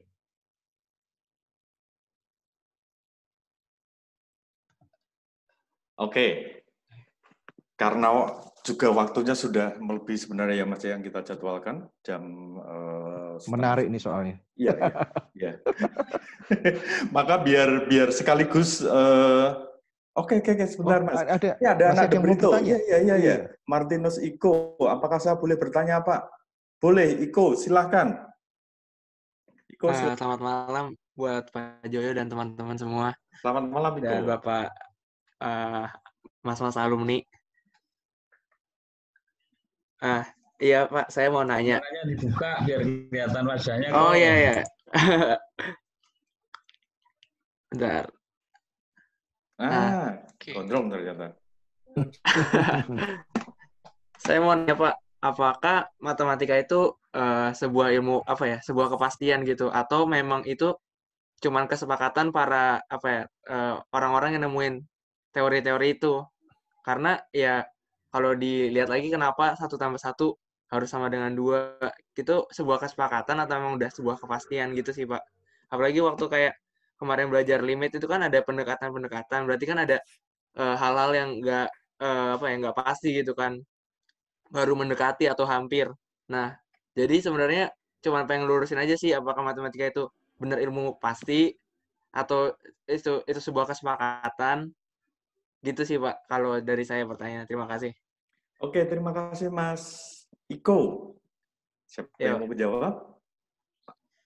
Apakah saya menjawab? Boleh Pak, boleh Pak. Jadi, Kayaknya di mau Oke. menjawab itu, Pak. Iya, iya. Kalau saya, saya mengatakan sih memang matematika ya kesepakatan gitu ya. Artinya eh, ini kesepakatan kesepakatan bersama. Nah, di luar itu salahnya matematika itu kan bukan dosa itu ya. Nanti nanti Mas Valentono Rizali bisa menambahkan ya. Kalau salah di matematika itu kan soal hanya soal tidak mengikuti aturan main saja gitu kan. Bukan dosa yang harus kemudian ngaku dosa gitu loh. Jadi salahnya ya kan salahnya di matematika kan karena tidak sesuai dengan kesepakatan saja, tidak sesuai dengan aturan mainnya saja gitu kan. Nah, menurut saya memang dasar matematika ya kesepakatan dan itu berlaku secara universal, secara umum gitu ya. Bahkan nanti Mas Palindro mungkin bisa menambahkan, ketika di logika itu sekarang logikanya bukan hanya dua nilai gitu ya, bukan hanya benar dan salah, tapi ada logika kabur gitu ya. Bahwa kebenaran itu juga relatif gitu kan, bukan salah mutlak dan benar mutlak gitu kan. Tapi ada yang uh, tingkat kebenarannya berapa? 0,1. Ah, Mas, semacam itu. Uh, jadi kok menurut saya memang matematika itu dasarnya ya memang kesepakatan dan itu berlaku secara universal, diterima kebenarannya secara umum. Maka nanti kalau bentukan matematika itu kan dari pengertian dasar yang itu eh, diterima secara umum, kemudian ada aksioma, gitu ya, postulat, kemudian dari situ ada definisi, kemudian ada teorema, lema, semacam itu kan, bangunannya kan macam gitu. Deduktif, aksiomatis itu ya yang salah satu karakteristik dari matematika. Jadi memang memang berdasarkan berdasarkan kesepakatan yang kebenarannya kita terima sebagai sesuatu yang benar, ya sudah disepakati semacam itu. Mas Valentino yang dari matematika murni mau menambahkan silahkan. Oh iya, boleh. Terima kasih untuk yang Mas Martinus Iko. Kalau yang dari saya yang tadi Anda bilang yang satu plus satu dua. Nah itu uh, ya itu sebenarnya dari kesepakatan karena uh, kita harus jelas dulu pertama kali satunya anda itu satu bilangan apakah bilangan bulat atau bilangan yang uh, gini kalau satu tambah satu sama dengan dua itu sistem kesepakatan kita di sistem bilangan bulat desimal uh, okay. bilangan bulat set uh, kalau anda satu satu anda itu adalah di biner yang isinya kalau nggak 01 nah nanti akan lain. Di situ kesepakatannya satu tambah satu tambah satu itu adalah nol gitu. Nah jadi tergantung uh, struktur yang kita lagi gunakan. Jadi satunya itu harus dijelaskan satu itu adalah bilangan bulat atau yang bilangan di sistem modulus itu. Ya. Ya itu sih kalau dari saya Oke, terima kasih, terima kasih ya. tambahnya. Jadi memang kalau itu memang kesepakatan ya. Misalkan ya, menjadi kacau misalkan di Jogja dua tambah tiga lima, tapi di Bandung dua tambah tiga enam gitu kan. Nah, ya. Maka itu kebenarannya menjadi eh, apa disepakati bersama, bersifatnya bersama. Oke. Okay. Terima kasih. Tampaknya Mas Yusuf cukup sekian dari teman-teman. Kemudian kita akan mencoba untuk eh, mendengarkan sharing dari Mas Tony Pongo yang bergelut di bidang eh, apa bisnis dan sekaligus juga teknologi, bagaimana matematika itu digunakan gitu ya. Mas Tony, Sugeng Dalu.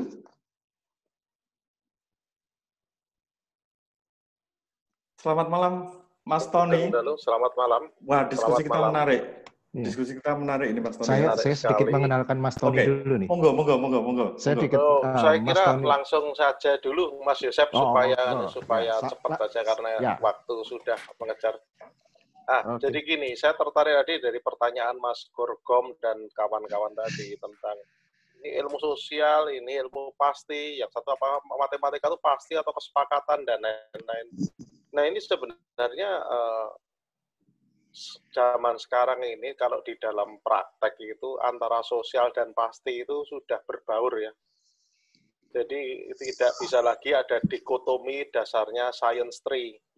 Kalau science tree itu adanya hanya di epistemologi saja, di fakultas-fakultas yang modern sekarang juga sudah tidak dibagi fakultas itu secara science tree. Pertemuan-pertemuan keilmuan itu sekarang semakin membaur jadi misalnya psikologi itu masuk di mana itu? Ada yang bilang itu pasti, ada yang bilang ini sosial. Sebenarnya itu adalah bahasa saya adalah bahasa pembauran ilmu yang sektoral gitu. Nah kemudian untuk ilmu-ilmu lain yang sekarang ngetren kalau kita bicara tentang data science gitu ya ini ya memang kalau yang ngitung-ngitung mungkin orang matematika tetapi kalau sudah masuk ke big data dan lain-lain siapa yang menganalisa itu sebenarnya orang sosial behavioral science yang banyak dipakai sekarang jadi eh, manusia membuat artificial intelligence ya bisa, tetapi siapa yang ngisi itu siapa, yang mengatakan hmm. ini begini, ini menafsirkan ini. Jadi juru tafsir ini juga penting sekarang. Lah. Jadinya ada yang mengatakan bahwa ya sekarang ini orang yang per, per, perlu uh, pakar di ilmu pasti itu harus juga bersentuhan dengan ilmu humaniora karena waktu itu uh, Presiden Koseng itu di Jepang dari presiden dari college di Jepang Isao Taniguchi itu waktu bertemu saya mengatakan uh, engineer itu actually a social doctor. Nah ini kan saya jadi menarik. Oh, engineer kok social doctor? Nah, dia katakan kenapa sekarang engineer itu juga nantinya harus menciptakan sesuatu yang for the sake for human being gitu loh, bukan menciptakan sesuatu yang membinasakan. Kebutuhan masyarakatnya apa, kemudian apa. Nah artinya semula sudah mulai ada sentuhan humaniora. Nah di sini jadi saya pikir uh, sekarang ini sosial dan ini sudah membaur itu nanti kalau bicara macam-macam itu ya semuanya akan ketemu dan sekarang ini bidang ilmu semakin unik ke depan ini. Sekarang ada lagi nanti yang bidang digital tapi digital antropologi. Itu ada. Dan sekarang tren itu eh, yang ngawarin MIT sama UCL ya University College London atau itu menawarkan bidang seperti itu. Ini kalau ditanya genrenya apa lah ini menjadi sulit. Kemudian yang lain-lain itu juga sama Nah juga ilmu sosial sendiri sebenarnya tidak menafikan matematika menurut saya ya. Even ilmu hukum pun sekarang matematika sudah mulai masuk juga. Richard Posner dari Harvard itu sudah menciptakan economic analysis for law yang dipakai ekonometri untuk pendekatan decision making hukum. Dan itu sekarang jalan. Nah, waktu Richard Posner ini menelurkan itu, itu kontroversi di Harvard, itu menjadi kontroversi di dunia. Bahkan di Indonesia pun itu juga uh, sempat terjadi perdebatan di fakultas-fakultas hukum. Ini sebenarnya ilmu hukum atau ilmu lain? Nah, sebenarnya sudah tidak ada lagi. Nah, kalau kita tarik lebih mendarat saja sekarang bahwa ilmu ilmu yang tadi dikatakan Mas Hawi logik dan matematika ini kalau saya kutip dari Bertrand Russell ya, itu filsuf Inggris mengatakan bahwa logika ini sebenarnya adalah masa muda matematika. Sementara matematika itu adalah masa dewasanya logika. Artinya bahwa dalam tataran dunia nyata, praktikal, kalau bahasa istilahnya bahasa latinnya itu in concreto gitu ya, ya orang tuh lebih banyak bersentuhan dengan logika. Yang dikatakan Pak Sukres betul, kehidupan kita itu sebenarnya adalah setiap hari kita melakukan uh, persentuhan dengan matematika tapi ketika matematika itu terjadi di dalam bidang keilmuan itu sebenarnya abstraksi, menarik ke in abstrakto begitu ya, menarik ke sebuah konsep. Nah sekarang pertanyaannya, untuk apa sih ditarik ke konsep? Nah ini kalau kemudian kita kembali pada praktikal di bisnis atau di badan usaha ataupun di pekerjaan sehari-hari, itu uh, persoalan untuk uh, kenapa itu di, perlu di dipelajari eh, nah, itu adalah sebuah uh, proses untuk mempercepat decision making.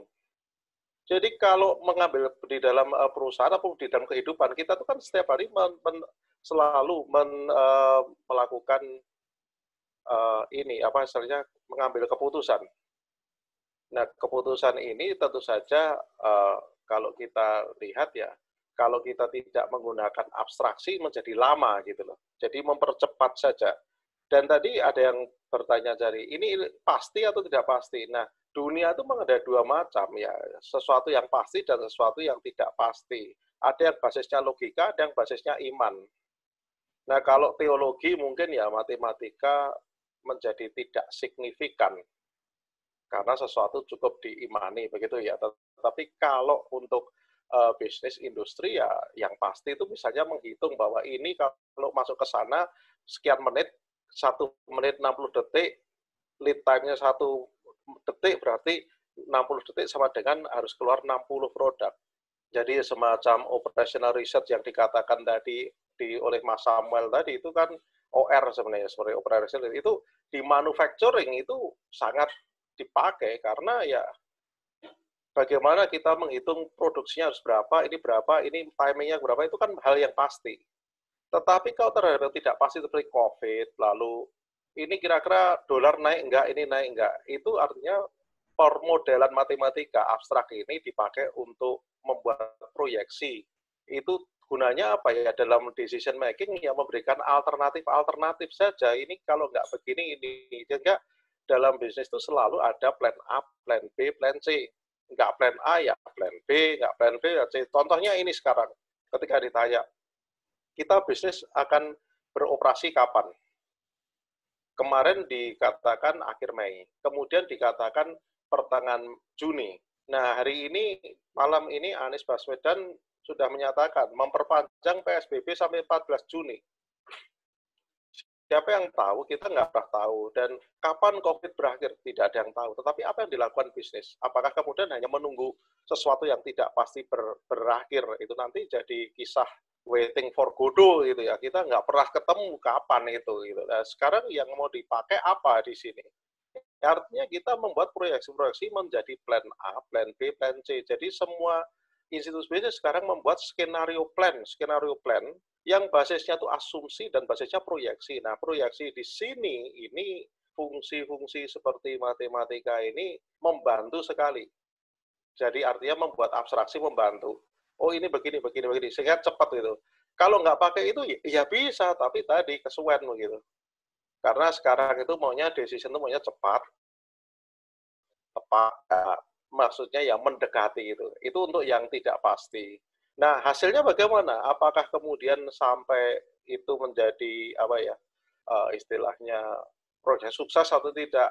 Ya, paling tidak itu meminimalisir risiko kalau kita punya 3 4 plan dari proyek itu tadi. Itu meminimalisir risiko. Tapi kalau yang pasti-pasti ya sudah pasti.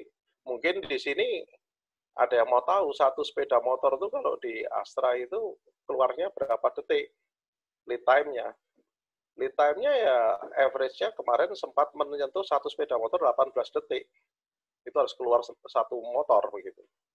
Nah kalau itu tidak dihitung pakai matematika yang baik itu ya ya nggak akan ketemu itu seperti operasi research begitu. Kemudian mengurangi defect dan lain-lain itu sama mungkin ya semua sudah tahu di industri itu ada penghitungan penghitungan Six Sigma dan lain-lain gitu ya.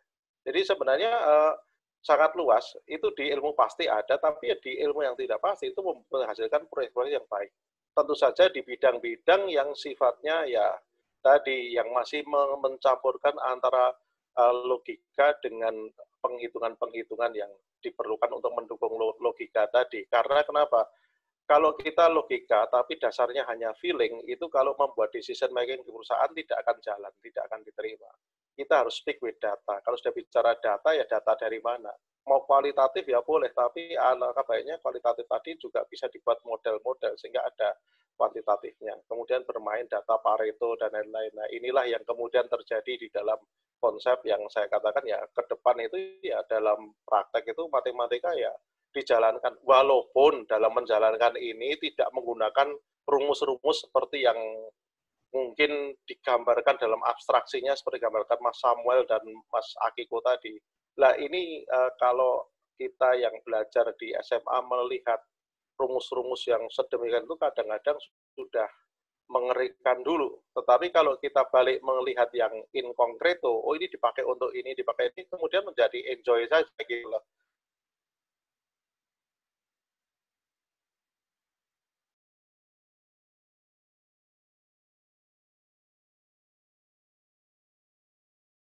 Agak terputus, Mas TP.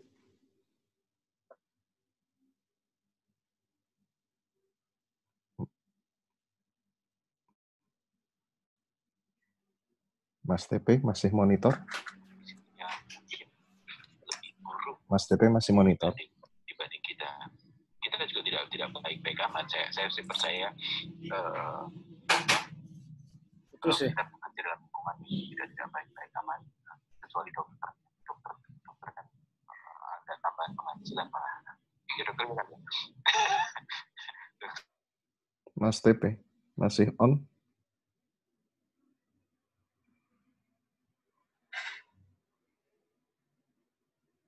sedang proses connecting lagi nih Mas TP.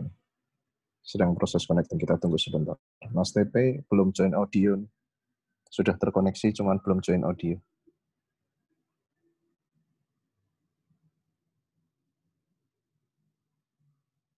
Mas Tony. Sudah terkoneksi, cuman belum join audio, Mas. Yang di kiri bawah, tolong diklik.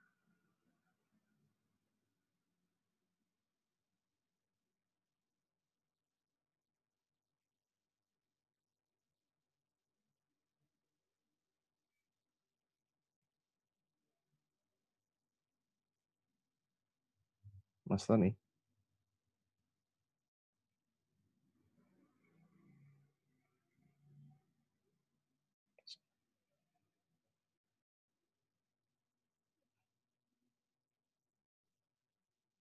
Kita tunggu sebentar, Mas Cesar. Ya, ini ini ya mungkin ditunggu sebentar ya. Sebentar lagi proses connecting lagi. Biasa jam segini ini Mas. Oh, ini Mas Tony masuk lagi dengan dengan account yang lain.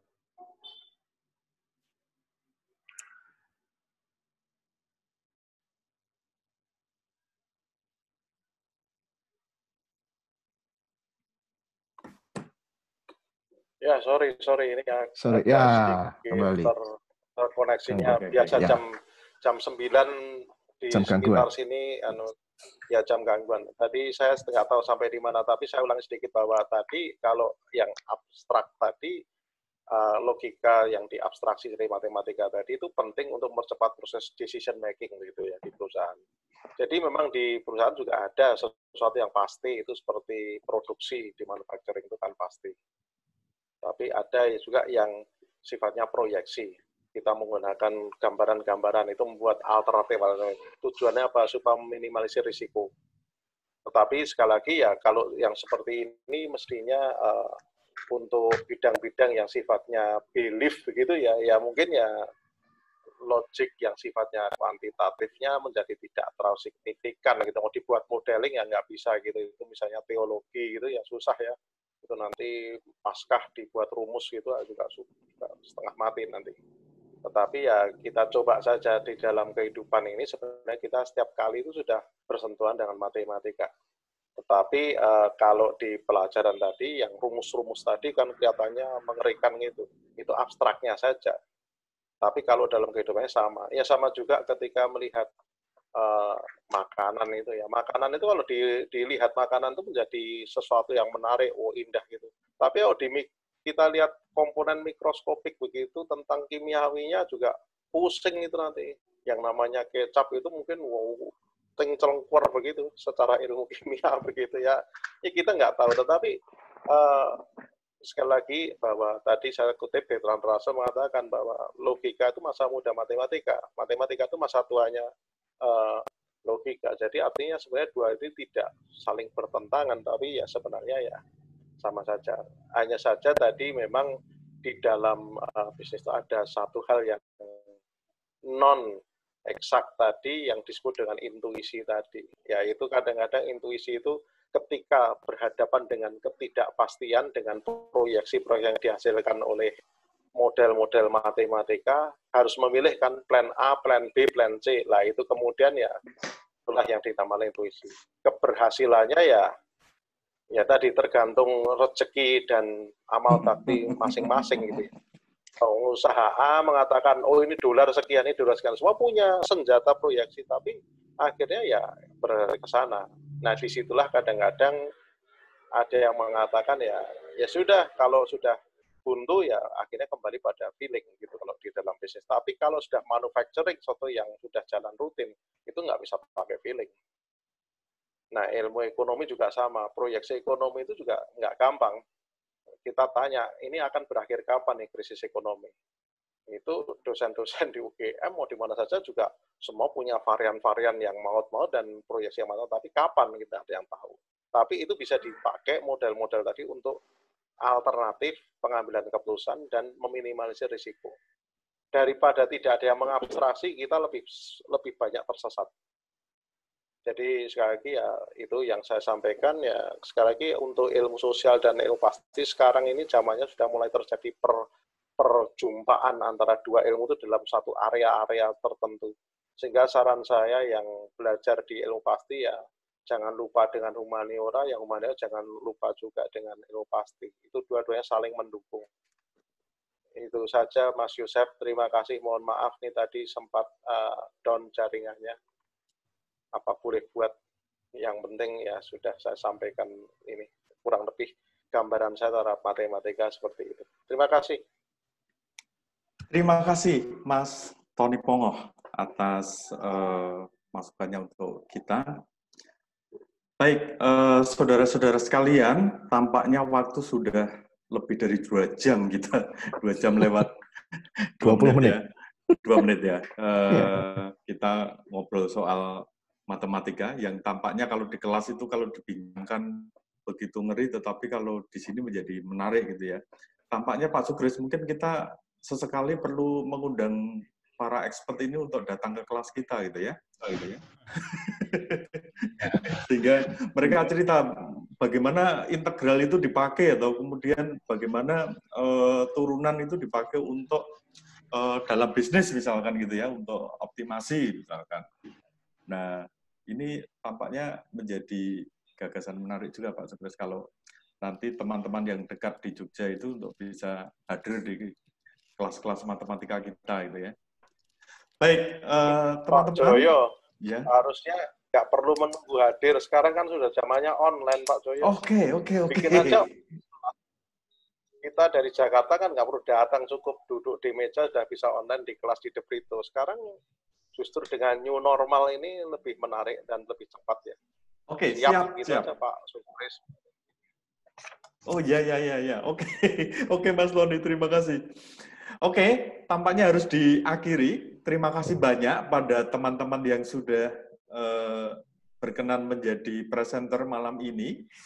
Mas Pius Akiko Putra dari Fisika UGM, kemudian Mas Samuel Sitorus dari Ilmu Ekonomi FEB UGM, dan tentu saja Mas Tony Pongo yang uh, menutup dengan membawa kita melihat bagaimana matematika ini dipakai dalam uh, bisnis dan juga dalam uh, teknologi semacam itu.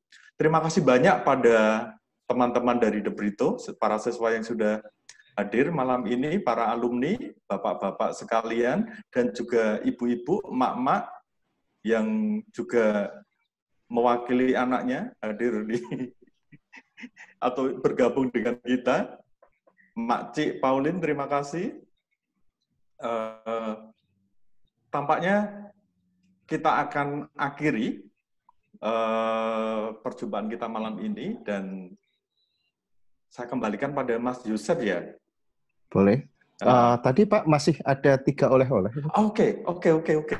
Saya mencatat. Betul, betul, betul. Oh iya, ada ada door prize gitu ya bagi yang tadi bertanya ya. Uh, yang pertama, saya tadi mencatat, uh, kita kasih saja yang masih muda-muda saja, Mas, Mas Nikolaus. Mas Nikolas yang tadi bertanya tentang yang membingungkan kita tadi itu loh. Kita kasih aja doorpress ke yeah. dia. Itu yang buku yang apa Mas? Yang manusia pembelajar itu ya? Ya. Yeah. Ada ya, manusia yeah. pembelajar untuk Mas Nikolas Kemudian sebentar ini ada pengacu. Yang terima kasih Yang kedua uh, buku uh, self driving itu yeah. untuk Mas Rudolf yang bertanya soal pandemi tadi ya. Iya. Yeah. Nah, terakhir buku saya Mas ya. Ya. Nah, ini untuk yang banyak membantu Mas Valentino. Uh, moga-moga bisa menjadi menjadi bacaan. Terima kasih, Pak. Tiga. Tiga. Oke. Okay. Ya. Nanti ketiganya ini akan saya kontak by WhatsApp untuk uh, alamat pengirimannya ya. Oke, okay. nanti akan saya karena sudah ada di data pendaftaran, saya akan kontak by WhatsApp untuk alamat pengiriman. Terima kasih teman-teman. Monggo Pak Joyo. Ya, kita tutup. Yang menutup Mas Yosef saja toh. Oke. Okay. Kan tugasnya ya. sudah selesai. Oke, okay. terima kasih teman-teman. Ini satu perbincangan yang asik. Sebetulnya awalnya kami semua memprediksi hanya satu setengah jam acaranya, jadi akhirnya jadi dua jam. Dan ini masih saya menyimpan beberapa pertanyaan yang sebetulnya sudah tanya, gitu kan.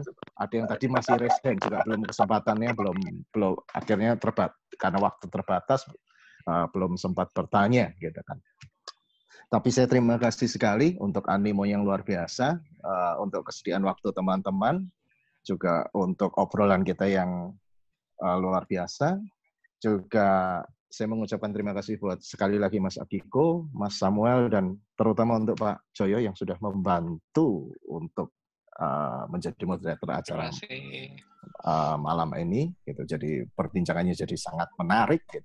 Sebelum kita mengakhiri, saya tolong minta tolong teman-teman nyalakan semua kameranya. Kita akan foto bersama, gitu kan? Bimo, ada di sini Bimo? Ada lah. Ya, Bim. Oke, Bim. Dibantu, Bim. Ya. Oke, tolong teman-teman dinyalakan semua kameranya. Kita akan kameranya foto. dinyalakan. Ya, kita akan capture gitu ya. Ada Mas Ignatius Adiluhung belum on, Mas William Heriudanto belum on, Mas Nikolaus belum on. Pakaiannya dipakai, pakaiannya dipakai. ya. on, silahkan dinyalakan, di on kan kita. Ignatius akan... Adiluhung. Ya. Jika CI. Gitu. Di on kan, gitu. Nanti kita akan capture. Oke. Okay. Mas Toto, ini memang gaya samping ya Mas Toto ini. Biasa action nggak lihat kayak zaman sekarang. Action, kan. Kayak siap ya? Deh. Kita mulai okay, ya. Satu, siap. dua. Satu kali lagi. Saat, ini resmi amat sih gayanya. Ini kayak pas foto mau bikin paspor. Satu, dua. Oke. Okay. Iya. Sudah, Tim? Sudah, sambun, sambun. Oke, okay. saya oh satu lagi. Tadi saya masih tertinggal karena kita terinterupsi foto. Terima kasih juga buat Mas Tony Pongoh yang sudah memberikan closing remarks-nya yang luar biasa malam ini. Jadi menyimpulkan dari semua diskusi kita malam ini. Terima kasih teman-teman. Untuk teman-teman yang dari Jerman juga online, masih ada Mas Yosi Mahendra, tadi Mas Michael Wong sudah pulang duluan. Gitu. Terima kasih. Dan acara alumni berbagi ini masih akan terus ada gitu ya. Nanti tetap uh, ikutin saja informasinya di WA, mungkin di Facebook maupun di Instagram kita akan selalu update gitu kan acara alumni berbagi. Harapannya mungkin di dalam dua minggu ke depan kita akan ada acara alumni berbagi lagi dengan topik yang lain. Oke, terima kasih teman-teman. Kita akan sediakan waktu 10-15 menit. Mungkin boleh dinyalakan uh, mikrofonnya, boleh saling bertegur sapa, boleh saling menyapa, saling ngobrol. Monggo teman-teman, kita beri waktu sekitar 10 menit. Silakan. Terima kasih banyak teman-teman. Terima kasih. Terima kasih. Terima kasih. Terima kasih. Matur nuwun semuanya. Sampai ketemu lagi. Terima kasih. Terima sampun tuh. Tetap sehat semuanya, sehat-sehat semua. Mas Gorgom, sampun buka puasa Mas Gorgom. Sudah segar. Iki Mas Gorgom lanjut sampai sahur iki. Nah, tausiahnya ditunggu, Mas. Sahur. Oh. Nah, Gimana Mas Gorgom? Kultum berbaginya nanti kan itu apa menjelang buka puasa terus ditutup Kultum. kahe sama Ngabuburit, ngabuburit. Heeh, Halo Gorgom. Tur repite Gorgom. Iya. Oh, nyali. Wis sama matematika ternyata ya. Oh, oh. gue meremeh, meremehkan gue. Oh, dan ruponik itu tidak berbanding lurus kalau matematika ya. ngerti berbanding lurus mau gue. Oh.